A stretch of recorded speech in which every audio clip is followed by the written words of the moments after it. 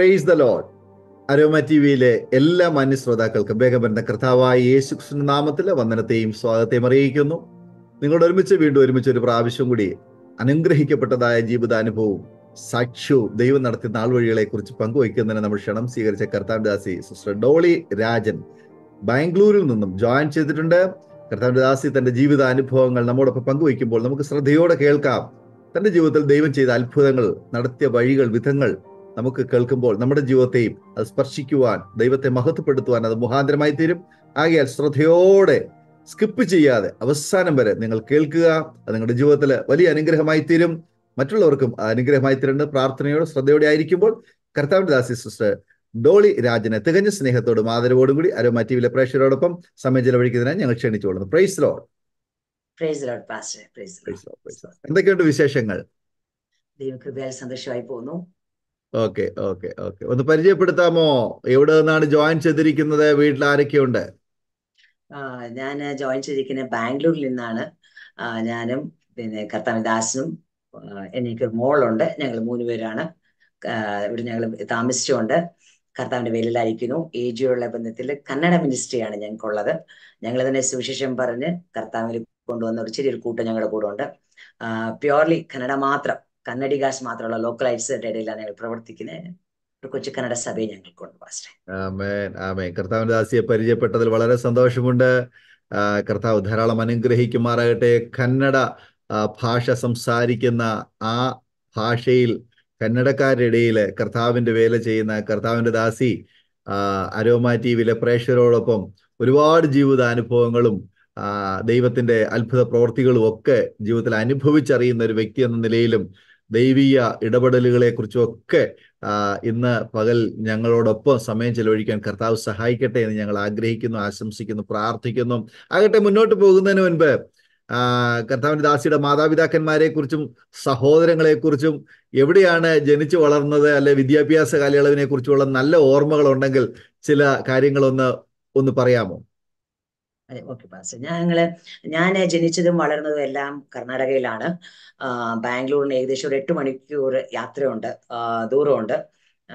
ഞാൻ ജനിച്ചതും വളർന്ന സ്ഥലമല്ല. എന്റെ പാരൻസ് ബേസിക്കലി ഫ്രം കേരളൈറ്റ്സ് ആണ്. പപ്പ തിരുവല്ലയും മമ്മി റാന്നിയാണ് ഓക്കെ അപ്പൊ ഞങ്ങൾ അവർ നയന്റീൻ സിക്സ്റ്റീസിൽ കർണാടകയിൽ വന്ന് സുവിശേഷ വേലയോടുള്ള ബന്ധത്തിൽ കർണാടകയിൽ വന്ന് സെറ്റിൽ ആയതാണ്. ഞങ്ങൾ മൂന്ന് സഹോദരങ്ങളാണ്. എനിക്ക് മൂത്തൊരു സഹോദരിയും ഇളയൊരു സഹോദരനും ഉണ്ട്. ഞങ്ങൾ മൂന്ന് പേരും കുടുംബമായിട്ട് കർത്താവിന് വേലയിലായിരിക്കുന്നു എന്റെ പാരൻസ് ഇന്നില്ല നിത്യതയിൽ പ്രവേശിച്ചിരിക്കുന്നു. സ്തോത്രം. ഒരു ഒരുപാട് കഷ്ടപൂർണമായ ഒരു ബാല്യമായിരുന്നു എന്റെതെന്ന് പറയാം എനിക്ക്. കാരണം എന്റെ പപ്പ എന്റെ സാക്ഷ്യം പറയണമെങ്കിൽ ആദ്യം എന്റെ പേരൻസിനെ പറ്റി പറഞ്ഞാലേ എന്റെ സാക്ഷ്യം ടെസ്റ്റിമണി അത് ഫുൾഫിൽ ആകത്തുള്ളൂ പൂർത്തിയാകത്തുള്ളൂ. എന്റെ പാരൻസിന് പപ്പയെ പറ്റി പറയണമെങ്കിൽ അവിടെ മാർത്തോമ ബാക്ക്ഗ്രൗണ്ടിൽ വന്നതാണ്. പപ്പ അവരുടെ വീടിനടുത്ത് തന്നെ ഒരു ടി പി എം ചേർച്ച് ഉണ്ടായിരുന്നു. അവിടെ നിരന്തര പാട്ടും പ്രാർത്ഥനയും ആരാധനയും കേട്ട് എന്റെ അമ്മച്ചി അതിൽ ആകർഷിതയായിട്ട് അവിടെ പ്രാർത്ഥനയ്ക്ക് പോവുകയും അങ്ങനെ അപ്പച്ചൻ അറിയാതെ വചനം കേൾക്കുകയും സ്നാനപ്പെടുകയും ചെയ്തു. അപ്പച്ചന് വിശ്വാസത്തിൽ ട്വന്റി വൺ ഇയേഴ്സ് അപ്പച്ചന് വേണ്ടി അമ്മച്ചി പ്രാർത്ഥിക്കുകയും രഹസ്യ ക്രിസ്ത്യാനി വിശ്വാസി ആയിരുന്നു എന്ന് പറയാം. ആ കാലത്താണ് എന്റെ പപ്പ ജനിക്കുന്നത്. അങ്ങനെ പപ്പ ജനിച്ച ആ കാലം തൊട്ട് ടി പി എം ചേർച്ചിൽ പോകാനും പാട്ട് പ്രാർത്ഥന വചനം കേട്ട് പത്താം ക്ലാസ്സിൽ എത്തിയപ്പോൾ പുള്ളി പപ്പ സ്നാനപ്പെട്ടു. സ്നാനപ്പെട്ടത് അപ്പച്ചൻ അറിഞ്ഞു.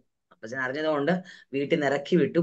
വീട്ടിൽ പൂർണമായിട്ട് ഇറക്കി വിട്ടു. അങ്ങനെ പുള്ളി നടന്ന് ഇങ്ങനെ പോകുമ്പോൾ ഒരു ഒരു ചേർച്ച് ബോർഡ് കണ്ടു. അപ്പൊ അവിടെ കയറി ചർച്ചിലോട്ട് കയറിയപ്പോൾ അവിടുത്തെ ദേവദാസന് വീട്ടിൽ വെച്ച് ദിവസം താമസിച്ചപ്പം പുള്ളി ആരാരും ഇല്ലാത്തതുകൊണ്ട് പുല്ലൂർ ബദേൽ ബൈബിൾ കോളേജിൽ കൊണ്ട് ചേർത്തു.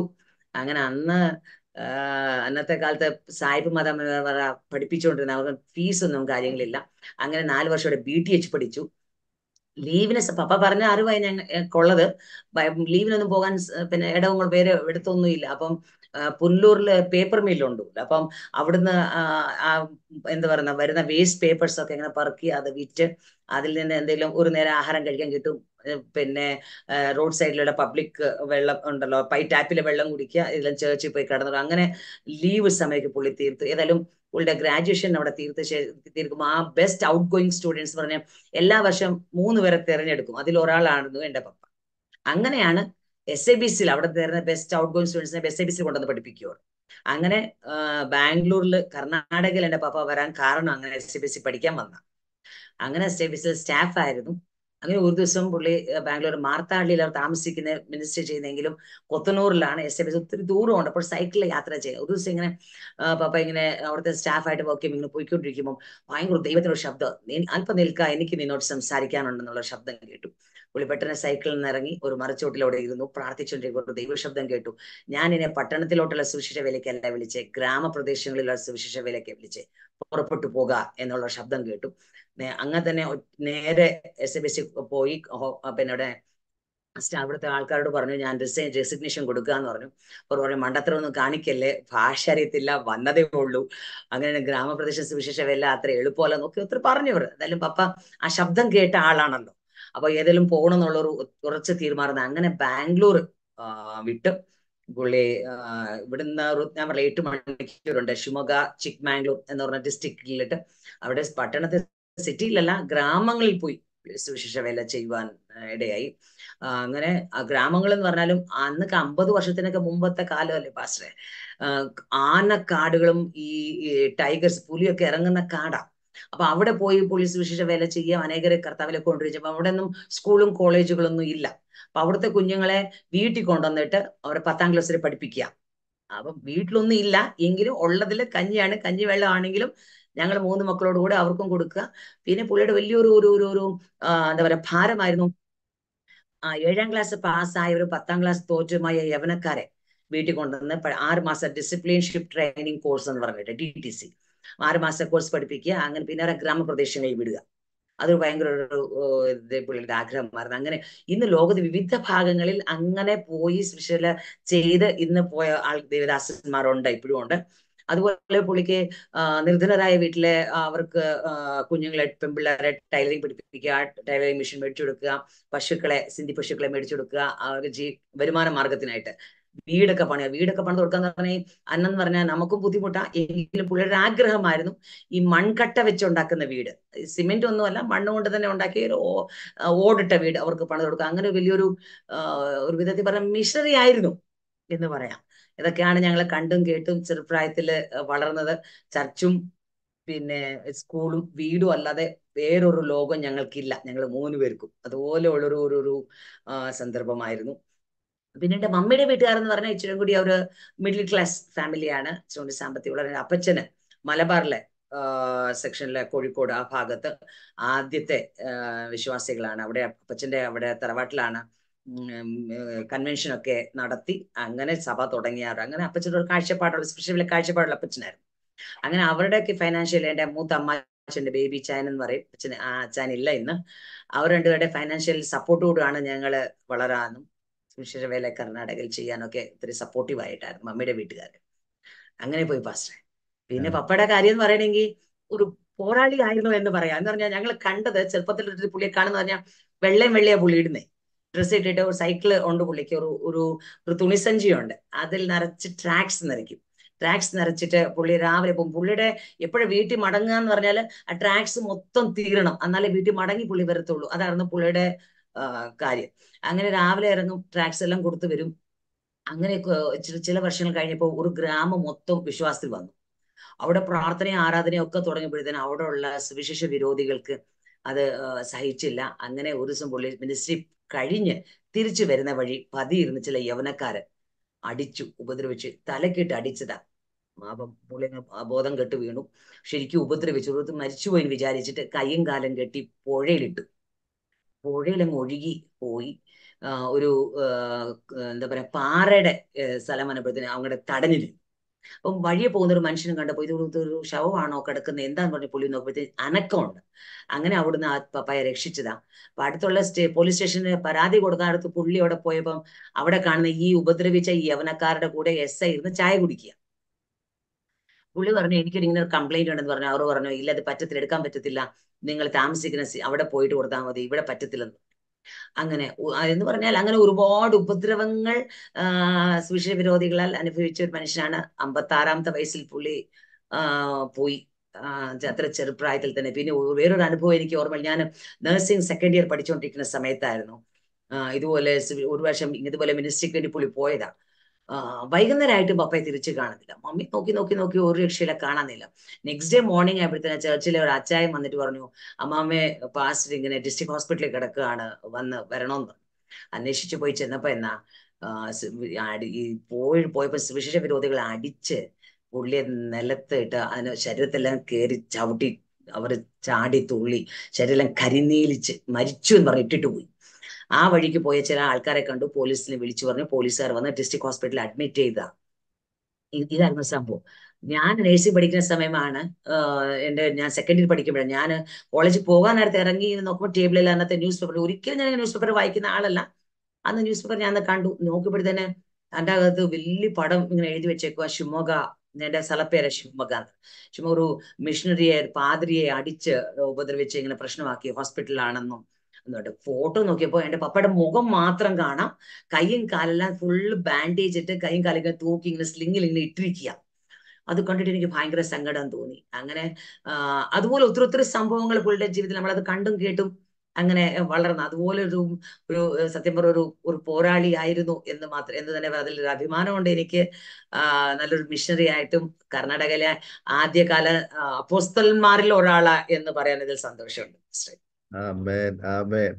സുവിശേഷ ദർശനവുമായി കേരളത്തിൽ നിന്ന് കർണാടകയിലേക്ക് പോവുകയും വേണമെങ്കിൽ ഒരു പട്ടണത്തിൽ സുവിശേഷ വേല ചെയ്ത് വലിയ കുഴപ്പമൊന്നുമില്ലാതെ ജീവിക്കാമായിരുന്ന ഒരു സാഹചര്യം ഒരു കാലവും ഉണ്ടായിട്ട് അതിനെ മാറ്റിവെച്ചിട്ട് ഗ്രാമങ്ങളിലേക്ക് വനാന്തരങ്ങളിലേക്ക് സുവിശേഷം എത്തിയിട്ടില്ലാത്ത അൺറീച്ചഡ് ആയിട്ടുള്ള ഏരിയകളിലേക്ക് കർത്താവ് പറഞ്ഞതായ ആ ഒരു കൽപ്പന അനുസരിക്കുവാൻ തക്കവണ്ണം പോയ ആ ഒരു മിഷണറി വര്യന്റെ മകൾ എന്ന നിലയിൽ ഞാൻ അഭിമാനത്തോടെ ആ കർത്താവിന്റെ ദാസനെ ഞാൻ സല്യൂട്ട് ചെയ്യുന്നു. ആമേൻ. ആ കർത്താവിന്റെ ദാസൻ ചെയ്തെടുത്ത അല്ലെ വിതച്ച വിത്തുകൾ വചനത്തിന്റെ വിത്തുകൾ കർണാടകയിലെ അങ്ങോളം ഇങ്ങോളം എങ്ങും അത് എന്നും അത് നൂറുമേനി ഫലം പുറപ്പെടുവിക്കും എന്നുള്ള കാര്യത്തിന് യാതൊരു സംശയവുമില്ല. അത് പ്രത്യക്ഷമായോ പരോക്ഷമായോ ഇന്ന് ആളുകൾ ജനങ്ങൾ അവർ ദേശം അത് അനുഭവിച്ചുകൊണ്ടിരിക്കുകയാണ്. അതിന്റെ പരിണിത ഫലമായ അനേക പ്രിയപ്പെട്ടവരുടെ പേര് ജീവന്റെ പുസ്തകത്തിലും ഇതിനോട് എഴുതപ്പെട്ടിട്ടുണ്ട്. ആമേൻ. നിശ്ചയമായിട്ടും ആ ദൈവപുരുഷനെ ദൈവം എന്നും ആദരിക്കട്ടെ അനുഗ്രഹിക്കട്ടെ. അദ്ദേഹത്തിന്റെ തലമുറകളെയും ദൈവം അപ്രകാരം ഉപയോഗിക്കുന്നു എന്നറിഞ്ഞതിൽ വളരെ സന്തോഷമുണ്ട് വളരെ സന്തോഷമുണ്ട്. അതെ അദ്ദേഹം പോയ അതേ പാത പിന്തുടരുന്ന ആമേൻ. തന്റെ മകൾ കർത്താവിന്റെ ദാസി ഡോളി രാജൻ. ആമേൻ. അരോമ ടി വിയിലെ പ്രേക്ഷകരോടൊപ്പം സമയം ചിലവഴിക്കുമ്പോൾ കർത്താവിന്റെ ദാസിയുടെ ജീവിതത്തിൽ ഒത്തിരി ആമേൻ വ്യക്തിപരമായ ആ ഒരു എൻകൗണ്ടറും ദൈവിക ഇടപെടലുകളും അനുഭവങ്ങളും സാക്ഷ്യങ്ങളും പറയുകയാണല്ലോ. അയാൾ നമുക്ക് ശ്രദ്ധയോടെ കേൾക്കാം. തുടർന്ന് കർത്താവിന്റെ ദാസിക്ക് എന്താണ് അരോമ ടി വിയിലെ പ്രേക്ഷകരോടൊപ്പം പങ്കുവയ്ക്കാൻ ആഗ്രഹിക്കുന്നത്? തുടർമാനമായിട്ട് സംസാരിക്കാം. സത്യമായിട്ടും മിനിസ്ട്രിയോടുള്ള ബന്ധത്തിൽ വരാനായിട്ട് എന്റെ പപ്പ എന്റെ പാരൻസ് ഭയങ്കര ഒരു മാജിക്കൽ ശക്തി പോലെ ആയിരുന്നു അവർ. എന്ന് പറഞ്ഞാൽ പപ്പ പറയും ഞങ്ങളോട് എപ്പോഴും ഇടയ്ക്കിടയ്ക്ക് പറയുന്ന ഒരു വാക്കുണ്ട് ഞാൻ നിങ്ങൾക്ക് വേണ്ടി ഒന്നും സമ്പാദിച്ചു വെച്ചിട്ടില്ല. സമ്പാദിച്ചാൽ ഇല്ലാതെ നിങ്ങൾ ആത്മീക ഗോളത്തിൽ നിങ്ങളെ കാണത്തില്ല. അതുകൊണ്ട് ഞാൻ സ്വർഗത്തിലെല്ലാം നിക്ഷേപിച്ചു വെച്ചിട്ടുണ്ട്. വേണ്ടിയത് വേണ്ടതെല്ലാം അന്നന്നത്തെ ദൈവം നിങ്ങൾക്ക് വിഡ്രോ ബാങ്കിൽ പോയി വിഡ്രോ ചെയ്യുന്നത് പോലെ സ്വർഗത്തിൽ നിക്ഷേപിച്ചു വെച്ചിട്ടുണ്ട് ഞാൻ അന്നന്നത് വേണ്ടി തരൂ എന്നുള്ളത് പറയാം. പറയാൻ കാരണം പാസ്റ്ററെ പുള്ളി മിനിസ്ട്രിക്ക് ഇങ്ങനെ പോയി കഴിഞ്ഞാൽ എവിടെയെങ്കിലും അന്നൊക്കെ തന്നെ ഒരു പൈസ ഒന്ന് മൂന്ന് പൈസ അഞ്ച് പൈസ അങ്ങനല്ലേ ഒരു രണ്ട് രൂപ കിട്ടുന്ന വലിയൊരു സംഭവം പോല. അത് കിട്ടുന്ന മമ്മിയാണില്ല പപ്പ വരുന്ന ഈ അരിയൊക്കെ മേടിച്ച് കഞ്ഞി വെച്ച് ഇങ്ങനെ കുഞ്ഞും കൊടുക്കണം എന്ന് മമ്മി നോക്കിയിരിക്കുമ്പോൾ വരുന്ന വഴി ആരെങ്കിലും വിശ്വാസത്തിൽ കഷ്ടപ്പാടുകൾ എന്തെങ്കിലും പറഞ്ഞാൽ ആ പൈസ അവർക്കും കൊടുത്തിട്ട് പുള്ളി കൈവിശയും വരും. അപ്പൊ അമ്മ ചോദിക്കും ഇന്ന് എന്തെങ്കിലും കൊണ്ടുവന്നു? ഇല്ല ഇന്ന സഹോദരൻ ഇന്ന സഹോദരൻ കണ്ടു. അവർ ഒത്തിരി ബുദ്ധിമുട്ടെന്ന് പറഞ്ഞു ഞാൻ കൊടുത്തു.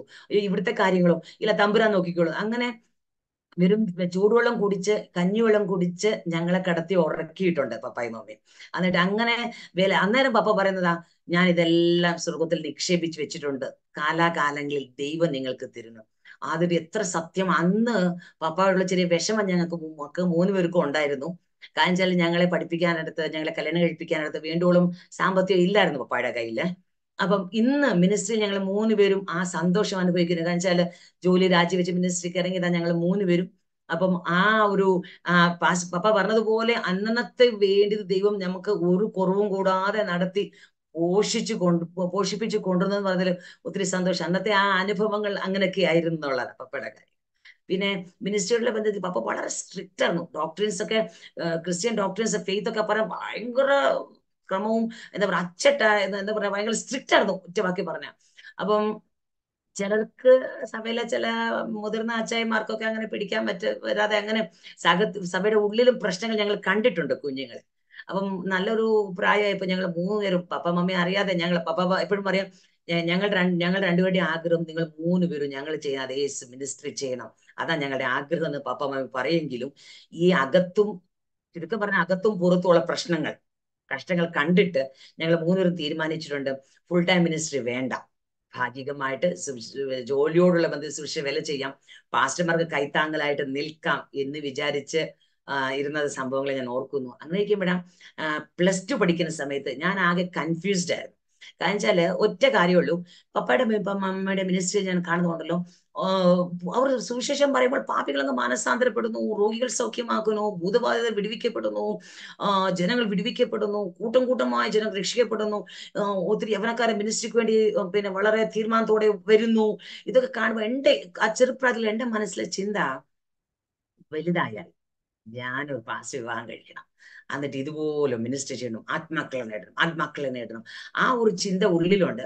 പക്ഷെ എങ്കിൽ വീട്ടിലെ പട്ടിണി എന്ന് പറഞ്ഞ പാസ്റ്ററെ പട്ടിണി തന്നെ. കഴിക്കാനും ഇല്ല ഉടുക്കാൻ വസ്ത്രമില്ല പാർക്കാൻ ഭവനമില്ല എന്നുള്ളത് ഞങ്ങൾ ഒരുപാട് കഷ്ടപ്പെട്ടു അപ്പം ഇത് മൂന്നും മൂന്ന് പേര് ഞങ്ങൾ കണ്ടിട്ട് വേണ്ടിട്ട് ജോലി മതി എന്ന് തീരുമാനിച്ചെടുക്കണം അപ്പം പ്ലസ് ടു ആയപ്പോൾ എന്റെ മനസ്സിലൊരു കൺഫ്യൂഷൻ ഇനി ഏത് ലൈനിലോട്ട് തിരിയണം എന്നുള്ള ചിന്ത. പപ്പ പറയായിരുന്നു തിയോളജിക്കൽ കോഴ്സിന് പോകാൻ പറഞ്ഞു. അമ്മ പറഞ്ഞു ഏതായാലും കൈത്തൊഴിൽ നല്ലതാ ഒന്നും പഠിച്ചിരിക്കുന്ന എപ്പോഴും നല്ലതാ എന്ന് പറഞ്ഞു. അറ്റ്ലാസ്റ്റ് അമ്മയുടെ ഉപദേശമാണ് നഴ്സിംഗ് പഠിക്കുക. നഴ്സിംഗ് പഠിക്കും പേഷ്യൻസിനോടും ബൈസ്റ്റാൻഡേഴ്സിനോടും സുവിശേഷം പറയാം. അങ്ങനെ നിനക്ക് അവരെ കർത്താവിലേക്ക് നേടുകയും ചെയ്യാം. അതിനെ കൂടാതെ ഫൈനാൻഷ്യലും ഫൈനാൻസും ഏകദേശം നിനക്ക് മാനേജ് ചെയ്യാം. അങ്ങനെയാണ് ഞാൻ നഴ്സിംഗ് ഫീൽഡിലോട്ട് വരാൻ കാരണം. കോളേജിൽ നഴ്സിംഗ് പഠിക്കുന്ന സമയത്താണ് എനിക്ക് തീർച്ചയായിട്ടും മിനിസ്ട്രിക്ക് വേണ്ടി വിളിയുണ്ടെന്നുള്ള ഒരു ഒരു ഒരു അറിവ് കൺഫർമേഷൻ എനിക്ക് ഉണ്ടാകുന്നത് ഞാൻ നഴ്സിംഗ് പഠിക്കാൻ സാധിക്കും. ഒത്തിരി അത്ഭുതങ്ങൾ അവിടെ കോളേജിലും എന്റെ ജീവിതത്തിലും സംഭവിച്ചിട്ടുണ്ട് നടന്നിട്ടുണ്ട്. അപ്പോൾ എനിക്ക് കൺഫർമേഷൻ ആ മിനിസ്ട്രിക്ക് പോകണം എന്നുള്ളത് അടുത്തതുള്ളൊരു നഴ്സിംഗ് പഠിച്ചു കഴിഞ്ഞ ഒരു ചലഞ്ച് ആയിരുന്നു ഇനിയും അടുത്തത് ലൈഫ് പാർട്ട്ണറുകൾ ആരെ തിരഞ്ഞെടുക്കും? ഇതിൽ ഞാൻ എന്ത് ചെയ്യുന്നുള്ളതാണ്. നയന്റി ഫൈവിൽ എന്റെ കോഴ്സ് കഴിഞ്ഞു. നയന്റി സിക്സിൽ വൺ ഇയർ ബോണ്ട് ഉണ്ടായിരുന്നു. നയന്റി സിക്സിൽ ഞാൻ അത് ബോണ്ട് കഴിഞ്ഞ് ബാംഗ്ലൂരിൽ വന്നു ജോലിയോടുള്ള ബന്ധത്തിൽ. ഇഷ്ടംപോലെ പ്രപ്പോസൽസ് വരുന്നുണ്ടായിരുന്നു. അപ്പം പപ്പ ചോദിച്ചപ്പോൾ ഞാൻ പപ്പയോട് പറഞ്ഞു ഒരു കാര്യം ചെയ്യേ. ഏതായാലും ഞാൻ എനിക്ക് ഇത് രണ്ടും ചെയ്യണം. പാസ്റ്ററെ നോക്ക്. പുള്ളി സ്പിരിച്വൽ ആയിട്ടുള്ള ഹാൻഡിൽ ചെയ്തോളും. ഞാൻ ഫൈനാൻഷ്യൽ നോക്കിക്കോളാം എന്ന് പറഞ്ഞ് ഞാൻ ജോലിയോടുള്ള ബന്ധത്തിൽ തന്നെ നിന്നു. നയന്റി സെവനിൽ പാസ്റ്ററുമായിട്ട് എന്റെ വിവാഹം നടന്നു. ഒറ്റ വർഷം പാസ്റ്റർ നയന്റി സെവൻ ഒക്ടോബറിൽ ഞങ്ങൾ വിവാഹം കഴിക്കുന്നു. ഒരുപാട് പ്രതീക്ഷയോടും ഒരുപാട് എന്താ പറയുക കണക്കൂട്ടലുകൾ കാൽക്കുലേഷൻസ് എന്ന് വേണം പറയാനായിട്ട്. എന്നുവെച്ചാൽ പുള്ളിയുടെ ഹസ്ബൻഡിന്റെ വീട്ടിൽ പാസ്റ്റർ വീട്ടിൽ എട്ട് മക്കളാ. പുള്ളിയെ ഏറ്റവും മൂത്തത്. നാല് പെൺപിള്ളേരുണ്ട്. അപ്പൊ എന്റെ ഭാരം അവരെയൊക്കെ രക്ഷപ്പെടുത്തണം. എന്റെ വീട്ടിൽ അതിനെക്കാട്ടിലും കഷ്ടമാണ് അവരെയും കൂടി രക്ഷപ്പെടുത്തണം എന്നൊക്കെയുള്ള ഉദ്ദേശം വിദേശത്ത് പോകണം സമ്പാദിക്കണം. അത് കഴിഞ്ഞ് ഫുൾ ടൈം മിനിസ്റ്ററിക്ക് ഇറങ്ങണം. പാസ്റ്റർമാരെ സഹായിക്കണം എന്നുള്ള ഒരു സ്വപ്നങ്ങളോട് കണക്കൂട്ടിലോടുകൂടിയാ ഞാൻ ജോലിക്ക് പോകാൻ തുടങ്ങി. ഒറ്റ വർഷം. നയന്റി സെവൻ ഒക്ടോബറിൽ ഞങ്ങളുടെ വിവാഹം നയന്റി എയ്റ്റ് ഒക്ടോബർ ആയപ്പോഴത്തേന്. ചെറിയൊരു വയറ്റുവേദന വന്നതാ. അടുത്തുള്ള ഹോസ്പിറ്റലൊക്കെ പോയി. ഒരു രക്ഷയില്ല. എനിക്ക് നേരത്തെ സെവൻ സ്റ്റാൻഡേർഡ് ആകുമ്പോഴത്തേന് ചെറിയൊരു വയറ്റുവേദന വന്ന അപ്പൻഡിസൈറ്റിസ് ഉണ്ടായിരുന്നു. അപ്പൊ അതിന് ഓപ്പറേഷൻ ഫിക്സ് ചെയ്തതാ. ബ്ലഡ് ഇല്ല എന്നുള്ള ഒറ്റ കാരണം കൊണ്ട് അന്ന് ഓപ്പറേഷൻ ചെയ്തില്ല. അപ്പൊ അത് ഞാൻ വിചാരിച്ചു ചിലപ്പോൾ അപ്പൻഡിസൈറ്റിസ് ആയിരിക്കാൻ വിചാരിച്ചു. കയ്യിൽ എമർജൻസി ഡ്രഗ്സ് ഒക്കെ ഉണ്ടായിരുന്നു. അതൊന്നും പിന്നെ എടുത്തിട്ടൊന്നും ഒരു രക്ഷയില്ല. അപ്പൊ അടുത്തുള്ള ഹോസ്പിറ്റലിൽ പോയിട്ട് പറഞ്ഞു ഇത് പിന്നെ പാൽപ്പബിൾ ആണ് ഇത് മുഴ ഫീൽ ചെയ്യുന്നുണ്ട്. വേറെ എവിടെയും കൊണ്ടുപോകാൻ പറഞ്ഞു. അങ്ങനെ രാമയ്യ മെഡിക്കൽ കോളേജിലോട്ട് എന്നെ അങ്ങോട്ട് അവിടുന്ന് ഷിഫ്റ്റ് ചെയ്തു. ഏകദേശം വൈകുന്നേരമായി. ഞായറാഴ്ച ആയിരുന്നു ഈവനിങ് ഡോക്ടർ സാറില്ല ഡ്യൂട്ടി ഡോക്ടർ മാത്രമേ ഉള്ളൂ. പുള്ളി നോക്കിയിട്ട് പറഞ്ഞു നല്ല വേദനയുണ്ട്. പനി ചെറുതായിട്ട് പനിയുണ്ട്. എന്നോട് പറഞ്ഞു ഇത് അപ്പണ്ടിക്കുലർ മാസ് ആണ്. നമുക്കിത് സ്കാൻ ചെയ്ത് നോക്കാമെന്ന് പുള്ളി പറഞ്ഞു. അങ്ങനെ സ്കാനിങ് റൂമിലോട്ട് എന്നെ കൊണ്ടുപോയി. സ്കാനിങ് പ്ലെയിൻ ആയിട്ട് വരിക ഒന്നും കാണുന്നില്ല. അപ്പൊ എന്നോട് പറഞ്ഞു ഇന്ന് രാത്രി ഇവിടെ അഡ്മിറ്റ് ആകും നമുക്ക് നെക്സ്റ്റ് ഡേ നമുക്ക് നോക്കാന്ന് പറഞ്ഞു. അങ്ങനെ നെക്സ്റ്റ് ഡേ മോർണിംഗ് സ്കാനിംഗ് റൂമിലോട്ട് കൊണ്ടുപോയി. സർജറി ഡിപ്പാർട്ട്മെന്റിലെ ഗൈനിക്കിലെ ഡിപ്പാർട്ട്മെന്റ് ഡോക്ടേഴ്സ് എല്ലാം മാറി മാറി നോക്കിയിട്ടു സെയിം ഫീലിംഗ് അവർക്ക്. എന്ന് പറഞ്ഞാൽ ആ സ്ക്രീനിൽ ഒന്നും കാണില്ല. പ്ലെയിൻ ആയിട്ട് പെട്ടെന്ന് എമർജൻസി ഓപ്പറേഷൻ ഫിക്സ് ചെയ്തു. ഞാൻ ബാംഗ്ലൂർ വർക്ക് ചെയ്യുന്നത് ഓപ്പറേഷൻ തിയേറ്ററിലെ ഹോസ്പിറ്റലിലെ കാർഡിയക് തിയേറ്ററിലും ഞാൻ ഈ കേസിൽ പിന്നെ അസിസ്റ്റ് ചെയ്തിട്ടുണ്ട്. അപ്പൊ എന്റെ മനസ്സിൽ പെട്ടെന്ന് ഒരു ചിന്ത കർത്താവേ എന്നോട് പറഞ്ഞു ലാപ്രോട്ടമിക്ക് ഇവർ ഡിസ്കസ് ചെയ്യുന്നുണ്ട് ടേബിളിൽ സ്കാൻ ടേബിളിൽ ലാപ്രോട്ടമി എടുക്കണമെന്നും ഒക്കെ പറയുന്നുണ്ട്. അപ്പൊ എന്റെ മനസ്സിൽ വളരെ ഭയം തോന്നി. ദൈവമേ ഇത്ര നാൾ അസിസ്റ്റ് ചെയ്തുകൊണ്ടിരുന്ന ആളെ ഞാൻ. ഇപ്പം ഞാൻ തന്നെ ഒരു പേഷ്യന്റ് ആയിട്ട് നിൽക്കുകയാണല്ലോ. എന്താ ചെയ്യുക ഒന്ന് രണ്ടാമത്തായിട്ട് എന്റെ ഉള്ളിൽ ഭയം വന്നത് ഞാൻ ജനിച്ചത് വളർന്ന എല്ലാം കർണാടകയിൽ. എനിക്ക് മലയാളം അല്പസ്വല്പമൊക്കെ പറഞ്ഞ് രക്ഷപ്പെടാം. അത്രേ ഉള്ളൂ. ഞാൻ മലയാളം പഠിച്ചുകൊണ്ടിരിക്കുക രണ്ടാമത്തെ കാര്യം എന്ന് വെച്ചാൽ പുള്ളിയെ പഠിച്ചവരെ മലയാളികളെ പഠിച്ചു വന്നുകൊണ്ടിരിക്കുന്ന സന്ദർഭം പിന്നെ ആഹാരം വെക്കാനോ ഫുഡ് അങ്ങനത്തെ ഒരുപാട് കാര്യങ്ങളൊന്നും എനിക്കറിയില്ല ഞാനെല്ലാം പഠിച്ചോളൂ ഇതെല്ലാം ഇങ്ങനെ ഇങ്ങനെ ഇരിക്കും പഠിച്ചുകൊണ്ടിരിക്കുന്ന ഞാൻ എങ്ങനെ പുള്ളിയോട് എനിക്ക് അസുഖമുണ്ടെന്നും ഇത് എങ്ങനെ പുള്ളിയോട് പറഞ്ഞു കൊടുക്കും പറഞ്ഞു എന്നുള്ളൊരു ഭയം എന്നുണ്ടായി കാരണം ലാപ്രോട്ടമി എന്ന് പറഞ്ഞ കേസ് മേജർ ഓപ്പറേഷൻ ആണ്.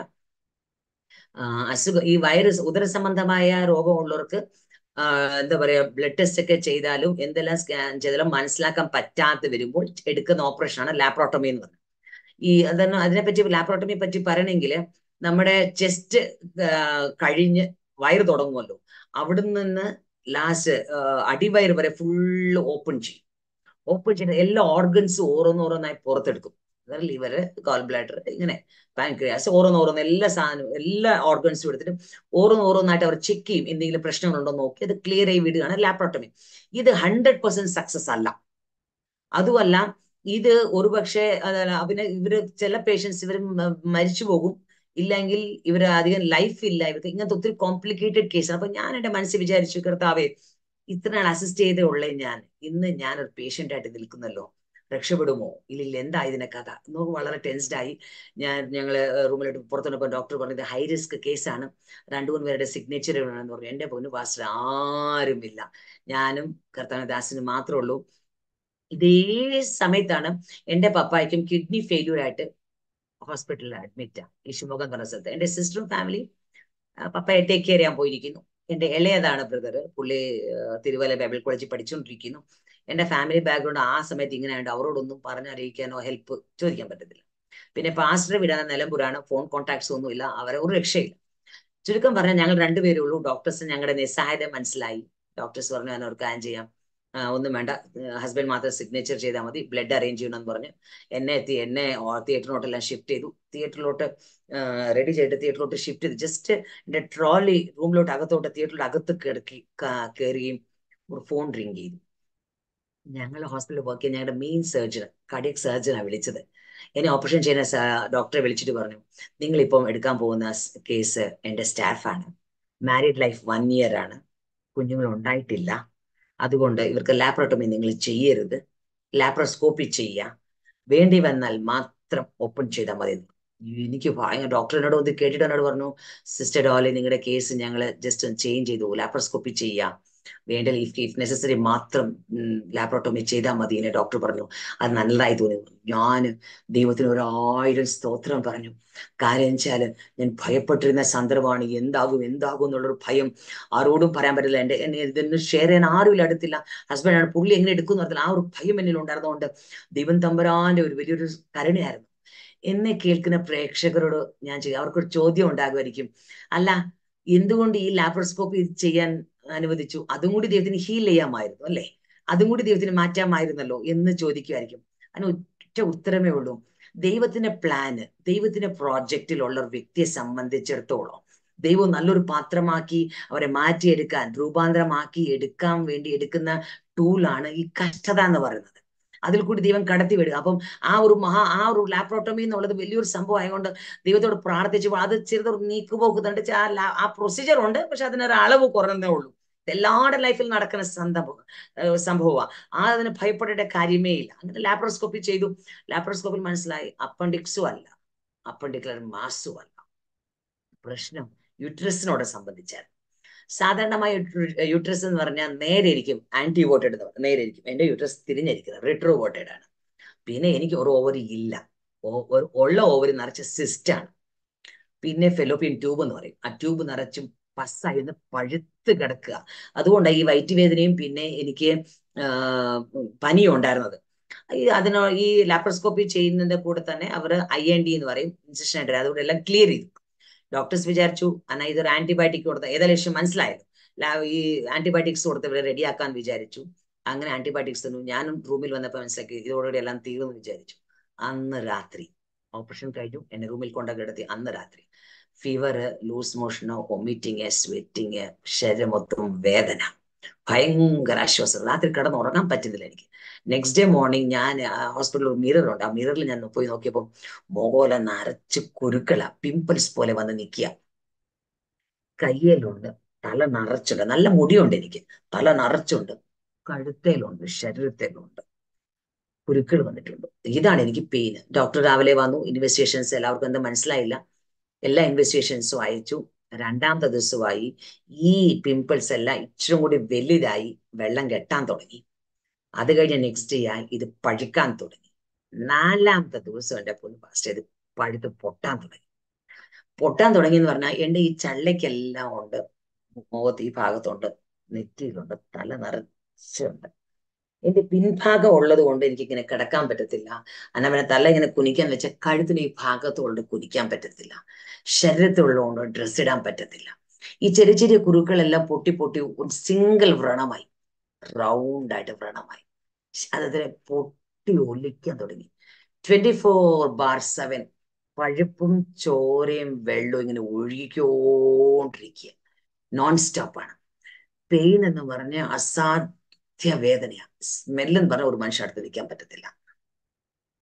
ഒരു രക്ഷയില്ല. എന്റെ വിവാഹം ഇരുപത്തി മൂന്നാമത്തെ വയസ്സിലാണ് എന്റെ വിവാഹം. ഇരുപത്തിനാലാമത്തെ വയസ്സിലായി സംഭവിക്കുന്നത് പക്ക ഗ്രാമപ്രദേശത്തിലെ പെൺകുട്ടിയെ ഞാൻ പെട്ടെന്ന് എക്സ്പോസ് ആകുന്ന സിറ്റിയിലോട്ട്. പിന്നെ വിവാഹം പിന്നെ സഭ ഇതൊക്കെ ഭാരം. ഇതിനിടയിലെ ഈ അസുഖം. എനിക്ക് എത്തും പിടിയും കിട്ടുന്നില്ല. ഓരോ ദിവസവും ഓരോ അസുഖങ്ങളാ ഓരോ പ്രശ്നങ്ങളാ. ഡോക്ടർ സോൾവ് ചെയ്യാൻ നോക്കിയിട്ട് ഇതൊന്നും തീർന്നില്ല എനിക്ക് അങ്ങ് ഉള്ളിൽ ഭയം ഉള്ളിൽ വരുന്നുണ്ട്. എനിക്ക് ഡോക്ടേഴ്സ് ആന്റിബയോട്ടിക്സ് എനിക്ക് ഇഞ്ചക്ഷൻസ് തരുന്നുണ്ട്. ഡ്രസ് ചെയ്യാൻ ആന്റിബയോട്ടിക്സ് പൗഡർ ഉണ്ട് ബോഡി അക്സെപ്റ്റ് ചെയ്യുന്നില്ല. സ്റ്റെറോയിഡ്സ് തരുന്നുണ്ട്. ബോഡി അക്സെപ്റ്റ് ചെയ്യുന്നില്ല. ഒന്നും ചെയ്യാൻ ഡോക്ടേഴ്സ് ഒന്നും ചെയ്യാൻ പറ്റുന്നില്ല. ഈ വ്രണം എന്ന് പറയുന്നത് ഇത് നികന്ന് വരാതെ കുഴിഞ്ഞു കുഴിഞ്ഞു കുഴിഞ്ഞു പോവുക. എന്നുവെച്ചാൽ അത് മരുന്ന് അക്സെപ്റ്റ് ചെയ്യാത്തതുകൊണ്ട് കുഴിഞ്ഞിങ്ങനെ പഴുപ്പിങ്ങനെ ഒഴുകി ഒഴുകി വരിക. രാവിലെ സിസ്റ്റർമാർ ഇങ്ങനെ ഡ്രസ്സിങ് ട്രേ ആയിട്ട് വരും. കുറെ കോട്ടൺസ് കൊണ്ടുവന്നത് എല്ലാം ക്ലീൻ ചെയ്തിട്ട് കോട്ടൺ ബോൾസ് പസ് ഉണ്ടല്ലോ ഒപ്പി എടുക്കാൻ ക്ലിയർ ചെയ്യാൻ. ഇത്രയും വലിയ വലിയ കോട്ടൺ ബോൾസ് കൈ എടുക്കുന്ന മുമ്പ് തന്നെ വെട്ടായിട്ട് പിന്നെ ഒഴുകാൻ ഈ സിസ്റ്റേഴ്സ് മടുത്തു. ഇത് കണ്ട് ഞാൻ മാനസികമായിട്ട് വളരെ തകർന്നു. എന്ത് ചെയ്യണമെന്ന് നിൽക്കുക. അപ്പം നാലാമത്തെ ദിവസമായപ്പോഴത്തേന് വൈകുന്നേരം ആകുമ്പോൾ ഡോക്ടേഴ്സ് എന്റെ റൂമിൽ വന്നു. മെയിൻ ഡോക്ടർ എന്നോട് പറഞ്ഞു സിസ്റ്റർ ഡോളി എന്ത് ചെയ്യണമെന്ന് അറിയുന്നില്ല. നിങ്ങൾക്ക് ആന്റിബയോട്ടിക്സും നിങ്ങൾക്ക് ഡ്രഗ്സ് ഒന്നും മെഡിസിൻസ് ഒന്നും ബോഡി അക്സെപ്റ്റ് ചെയ്യുന്നില്ല. ഒരു രക്ഷയില്ല നമ്മൾ ചെയ്ത ടെസ്റ്റുകളെല്ലാം നെഗറ്റീവ് നോർമലിന് വന്നിരിക്കുന്നത് റിപ്പോർട്ട്സ് എല്ലാം വന്നു. അസുഖം തന്നെ മനസ്സിലാക്കാൻ കഴിയുന്നില്ല. ഇതിനുള്ള ഒരു ടെസ്റ്റ് മാത്രം നമ്മൾ വിട്ടുപോയി. നമുക്ക് തന്നെ ചെയ്താലോ എന്ന് പറഞ്ഞ പുള്ളി ഒരു പ്രിസ്ക്രിപ്ഷൻ സ്ലിപ്പ് എന്റെ കയ്യിൽ തന്നു ഞാനത് നോക്കുമ്പോൾ ഉണ്ടല്ലോ എച്ച് ഐ വി എയ്ഡ്സ് എന്നുണ്ട്. എന്റെ മനസ്സ് വളരെ തകർന്നു പോയി ഞാൻ എന്റെ മനസ്സിൽ പെട്ടെന്ന് എന്റെ മനസ്സിൽ വന്ന ചിന്ത ഞാനൊരു പാസ്റ്റർ മോളാണ്. ഞാനൊരു പാസ്റ്റർ വൈഫാണ് ഇത് എനിക്ക് അക്സെപ്റ്റ് ചെയ്യാൻ ഭയങ്കര ബുദ്ധിമുട്ടായി ഈ ഈ വിഷയം. അപ്പൊ ഞാൻ സാറിനോട് പറഞ്ഞു ഡോക്ടർ ഇത് ഒരിക്കലും എനിക്ക് വരാൻ സാധ്യതയില്ല. അപ്പൊ പറഞ്ഞു ഇല്ല നിങ്ങൾ വി വി ഐ പി ഹോസ്പിറ്റലിൽ വർക്ക് ചെയ്യുന്ന ആയതുകൊണ്ടല്ലേ ഞാൻ പറഞ്ഞു സർ ഞങ്ങൾ ബ്ലഡ് ടെസ്റ്റ് എല്ലാം ചെയ്ത് നോർമലുള്ള കേസസ് ഞങ്ങൾ എടുക്കാറുള്ളൂ. അപ്പൊ പുള്ളി പറഞ്ഞു അല്ല അവർക്ക് ചിലപ്പം ഇൻക്യുബേഷൻ പീരീഡ് ആയിരിക്കാം. ഞാൻ പറഞ്ഞു ഞങ്ങൾ ഡബിൾ ഗ്ലൗസ് യൂസ് ചെയ്യാറുണ്ട്. പുള്ളി പറഞ്ഞു വന്നാ നോക്കുമ്പോ അത് ഉണ്ടെന്നുള്ള രീതിയിൽ പുള്ളിയെ കുറ്റം പറഞ്ഞിട്ട് കാര്യമില്ല. കാരണം എല്ലാ സിംറ്റംസും ഉണ്ട്. പഴുത്ത് ശരീരം ഇങ്ങനെ പൊട്ടി ഒലിച്ചുകൊണ്ടിരിക്കുകയാണ് പനിയുണ്ട് ലൂസ് മോഷൻ പറ്റിയ ലോസ് ഓഫ് വെയിറ്റ് ഉണ്ട്. സിംറ്റംസ് എല്ലാം ബോഡി കാണിക്കുന്നതുകൊണ്ട് അവർക്ക് തെറ്റിദ്ധരിക്കുന്നതിൽ കുറ്റമൊന്നുമില്ല പക്ഷെങ്കിൽ എന്നെ അക്സെപ്റ്റ് ചെയ്യാൻ പറ്റില്ല. ഞാൻ പുള്ളിയോട് ഞാൻ വിചാരിച്ചു ഇദ്ദേഹത്തോട് ഇനി അധികം സംസാരിച്ചിട്ട് കാര്യമില്ല. പുള്ളിയെ പറഞ്ഞു വിടാൻ വിചാരിച്ചു. അദ്ദേഹം പോയി. അത് കഴിഞ്ഞ് പാസ്റ്റർ റൂമിലോട്ട് വന്നു. ഞാൻ വളരെ ഇങ്ങനെ മാനസികമായിട്ട് ക്ഷീണിച്ചിങ്ങനെ ഇരിക്കുന്ന കണ്ടിട്ട് എന്നോട് ചോദിച്ചു എന്താ സംഭവം? എന്താ പറ്റിയ?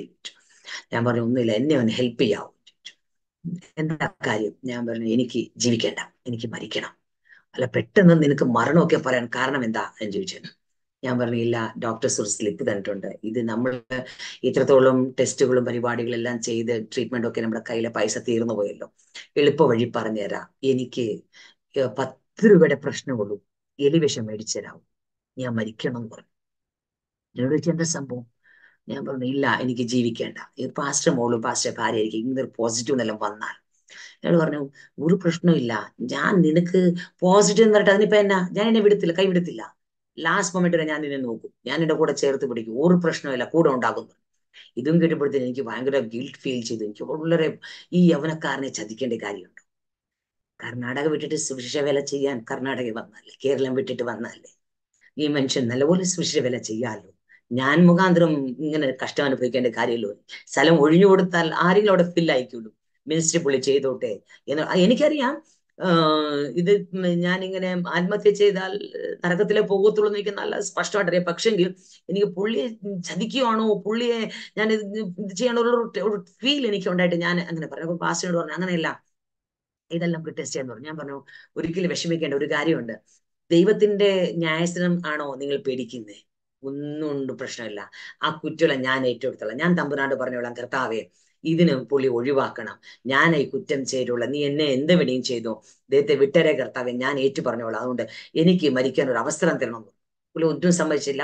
അങ്ങനെ എന്നെ ലാബിലോട്ട് എന്നെ കൊണ്ടുപോയി. ലാബിൽ പോയപ്പോഴത്തേനുണ്ടല്ലോ പാസ്റ്റർ ഈ അസു അസുഖം ഇങ്ങനെ ഒലിച്ചുകൊണ്ടിരിക്കുന്ന സ്മെൽ ഉണ്ടല്ലോ ലാബിലെ ഒരു സ്റ്റാഫ് എന്നെ ബ്ലഡ് ഡ്രോ ചെയ്യാൻ എടുക്കാൻ വരുന്നില്ല. അപ്പൊ ഞാൻ കൺഫേം ആക്കി ഇത് ഇത് തന്നെ ആയിരിക്കാൻ വിചാരിച്ചു. ഞാൻ ഇപ്പോഴും ഓർക്കുന്നുണ്ട് ഒരു കർട്ടൻ ഉണ്ട് എന്റെ പിൻപിൽ ഒരു കട്ടിലുണ്ടായിരുന്നു. ആ കട്ടിലെ ഞാൻ കടന്ന് ഇങ്ങനെ പ്രാർത്ഥിച്ചിട്ടുണ്ട്. കർത്താവേ മതി. ഞാൻ ഒത്തിരി ആഗ്രഹത്തോടെ ജീവിതം തുടങ്ങി കുടുംബജീവിതം തുടങ്ങിയതാ. പക്ഷേ ഇത് എങ്ങോട്ട് പോകുന്നെന്ന് എനിക്കൊരു ഒത്തും പിടിയും കിട്ടുന്നില്ല. അതുകൊണ്ട് എനിക്ക് മരിക്കണം. മരിക്കാൻ ഞാൻ എന്റെ കൂട്ടാളിയോട് ഞാൻ ചോദിച്ചു പുള്ളി സമ്മതിക്കുന്നു കർത്താവ് നീ എനിക്കൊരു സഹായം ചെയ്തു തരണം. ഭൂമിയെ വാപ്പിളർന്ന് തന്നിരുന്നെങ്കിലേ ജീവനോടെ ഞാൻ ഇറങ്ങി വന്നോളാം കർത്താവ്. എനിക്ക് നിന്നോട് കൂടെ ആയിരിക്കാമല്ലോ. എന്നെ അങ്ങ് എടുക്കണം. എന്റെ ഈ പ്രാണിത എടുക്കണം. എനിക്ക് വേണ്ട ഞാൻ പ്രാർത്ഥിച്ച നിമിഷത്തെ ഓർക്കുന്നു ദേവദാസനെ. നമ്മുടെ ദൈവം എത്ര പ്രതിസന്ധിയിൽ കടത്തിവിട്ടാലും കടത്തി വിട്ടാലും. ഹാലലുയ്യ ഞരക്കം കേൾക്കുന്ന ദൈവമല്ലേ. രോമാലേഖനം എട്ടാം അധ്യായത്തിൽ ഇങ്ങനൊരു വാക്യമുണ്ട്. ആത്മാവിലെ ഞരക്കം എന്നുള്ള സ്തോത്രം. ആത്മാവിലെ ഞരങ്ങുന്ന എന്നെ കേൾക്കുന്ന പ്രേക്ഷിത പ്രേക്ഷ പ്രേക്ഷകർക്കും ഇത് അനുഭവങ്ങൾ ഉണ്ടായിട്ടാണ് ആത്മാവിൽ ഞരങ്ങുന്ന ഒത്തിരി സന്ദർഭങ്ങൾ. പ്രിയ ദൈവമക്കളെ നമ്മളെ വിട്ട് അവൻ കടന്നു പോകുന്ന ദൈവമല്ല. സ്തോത്രം. ഒരു മിനിറ്റ് അവിടെ നിൽക്കും അവന് സ്തോത്രം. അങ്ങനെ ഒരു ഒരു പാസ്റ്റർ മോളായിരുന്നു. പെട്ടെന്ന് വന്നു. എന്നെ ബ്ലഡ് ടെസ്റ്റ് ചെയ്തു. നോർമൽ നെഗറ്റീവ് എന്ന് വന്നു. അതോടൊരു Ramaiah medical college against medical advice ഞാൻ ഡിസ്ചാർജ് ചെയ്ത് ഞങ്ങൾ ഭവനത്തിൽ വീട്ടിൽ ഡിസ്ചാർജ് ചെയ്ത് വരുമ്പം ഈ അവസ്ഥകളെല്ലാം ഉണ്ട്. തല നിറച്ച് വ്രണമുണ്ട് മുഖത്തെല്ലാം ഉണ്ട്. ഇങ്ങനെ ഒഴുകിക്കൊണ്ടിരിക്കുന്നു. ഡ്രസ്സിങ് ചെയ്യാനൊന്നും പറ്റത്തില്ല. എപ്പോഴും ഇങ്ങനെ എപ്പോഴും ഇങ്ങനെ എന്തെങ്കിലും ഒരു തുണി വെച്ച് ഇങ്ങനെ ഇരിക്കണം. അതായത് ഒരു രക്ഷയില്ല. സ്മെല്ലുകൊണ്ട് ആരുമില്ല. ഞാനും പാസ്റ്ററുള്ളൂ ആരുമില്ല. പാഴ്സനേജ് വണ്ണു അവിടെ കിടന്നു. വേദന അതിഭയങ്കരമായിട്ടുണ്ട്. ഒരു രക്ഷയില്ല. രണ്ടു മൂന്ന് ദിവസമായി ഇങ്ങനെ തന്നെ പോവുകയാണ്. രാത്രിയാകുന്നു പകലാകുന്നു രാത്രിയാകുന്നു പകലാകുന്നു മാത്രമുള്ളൂ. മാറ്റ് മറ്റ് മാറ്റങ്ങളൊന്നും ഉണ്ടാകുന്നില്ല. രാത്രിയായി ഞാൻ വിചാരിക്കും പകലായി മതി പകലായി വിചാരിക്കും രാത്രിയായി മതി ഞാൻ വിചാരിക്കും. കാരണം വെച്ചാൽ വേദനയാ മനുഷ്യരെ കാണാനും വെട്ടം കാണാനും ഒക്കെ ഭയമായിരുന്നു എനിക്ക്. അങ്ങനെ നാലാമത്തെ ദിവസം ആയപ്പോഴത്തേനുണ്ടല്ലോ എന്റെ വ്രണം ശരീരത്തിന്റെ കാണുന്ന ഭാഗത്ത് മാത്രമേ ഉണ്ടായിരുന്നുള്ളൂ. മൂന്നാം ദിവസം ആയപ്പോഴത്തേനും വ്രണം വായ്ക്കുള്ളി വരാൻ തുടങ്ങി. തൊണ്ട വരെയായി. ഉമ്മനീര് എനിക്ക് ഇറക്കാമായിരുന്നു. ഉമ്മുനീര് പോലും ഇറക്കാൻ പറ്റാത്തൊരവസ്ഥ സൺഡേ സ്കൂളിൽ പഠിച്ച കഥകളും പാട്ടുകളും നല്ലവരും സൺഡേ ഞാൻ ചെറുപ്പത്തിലെ സൺഡേ സ്കൂൾ ടീച്ചറായിരുന്നു സി എൽ എ സെക്രട്ടറി ആയിരുന്നു.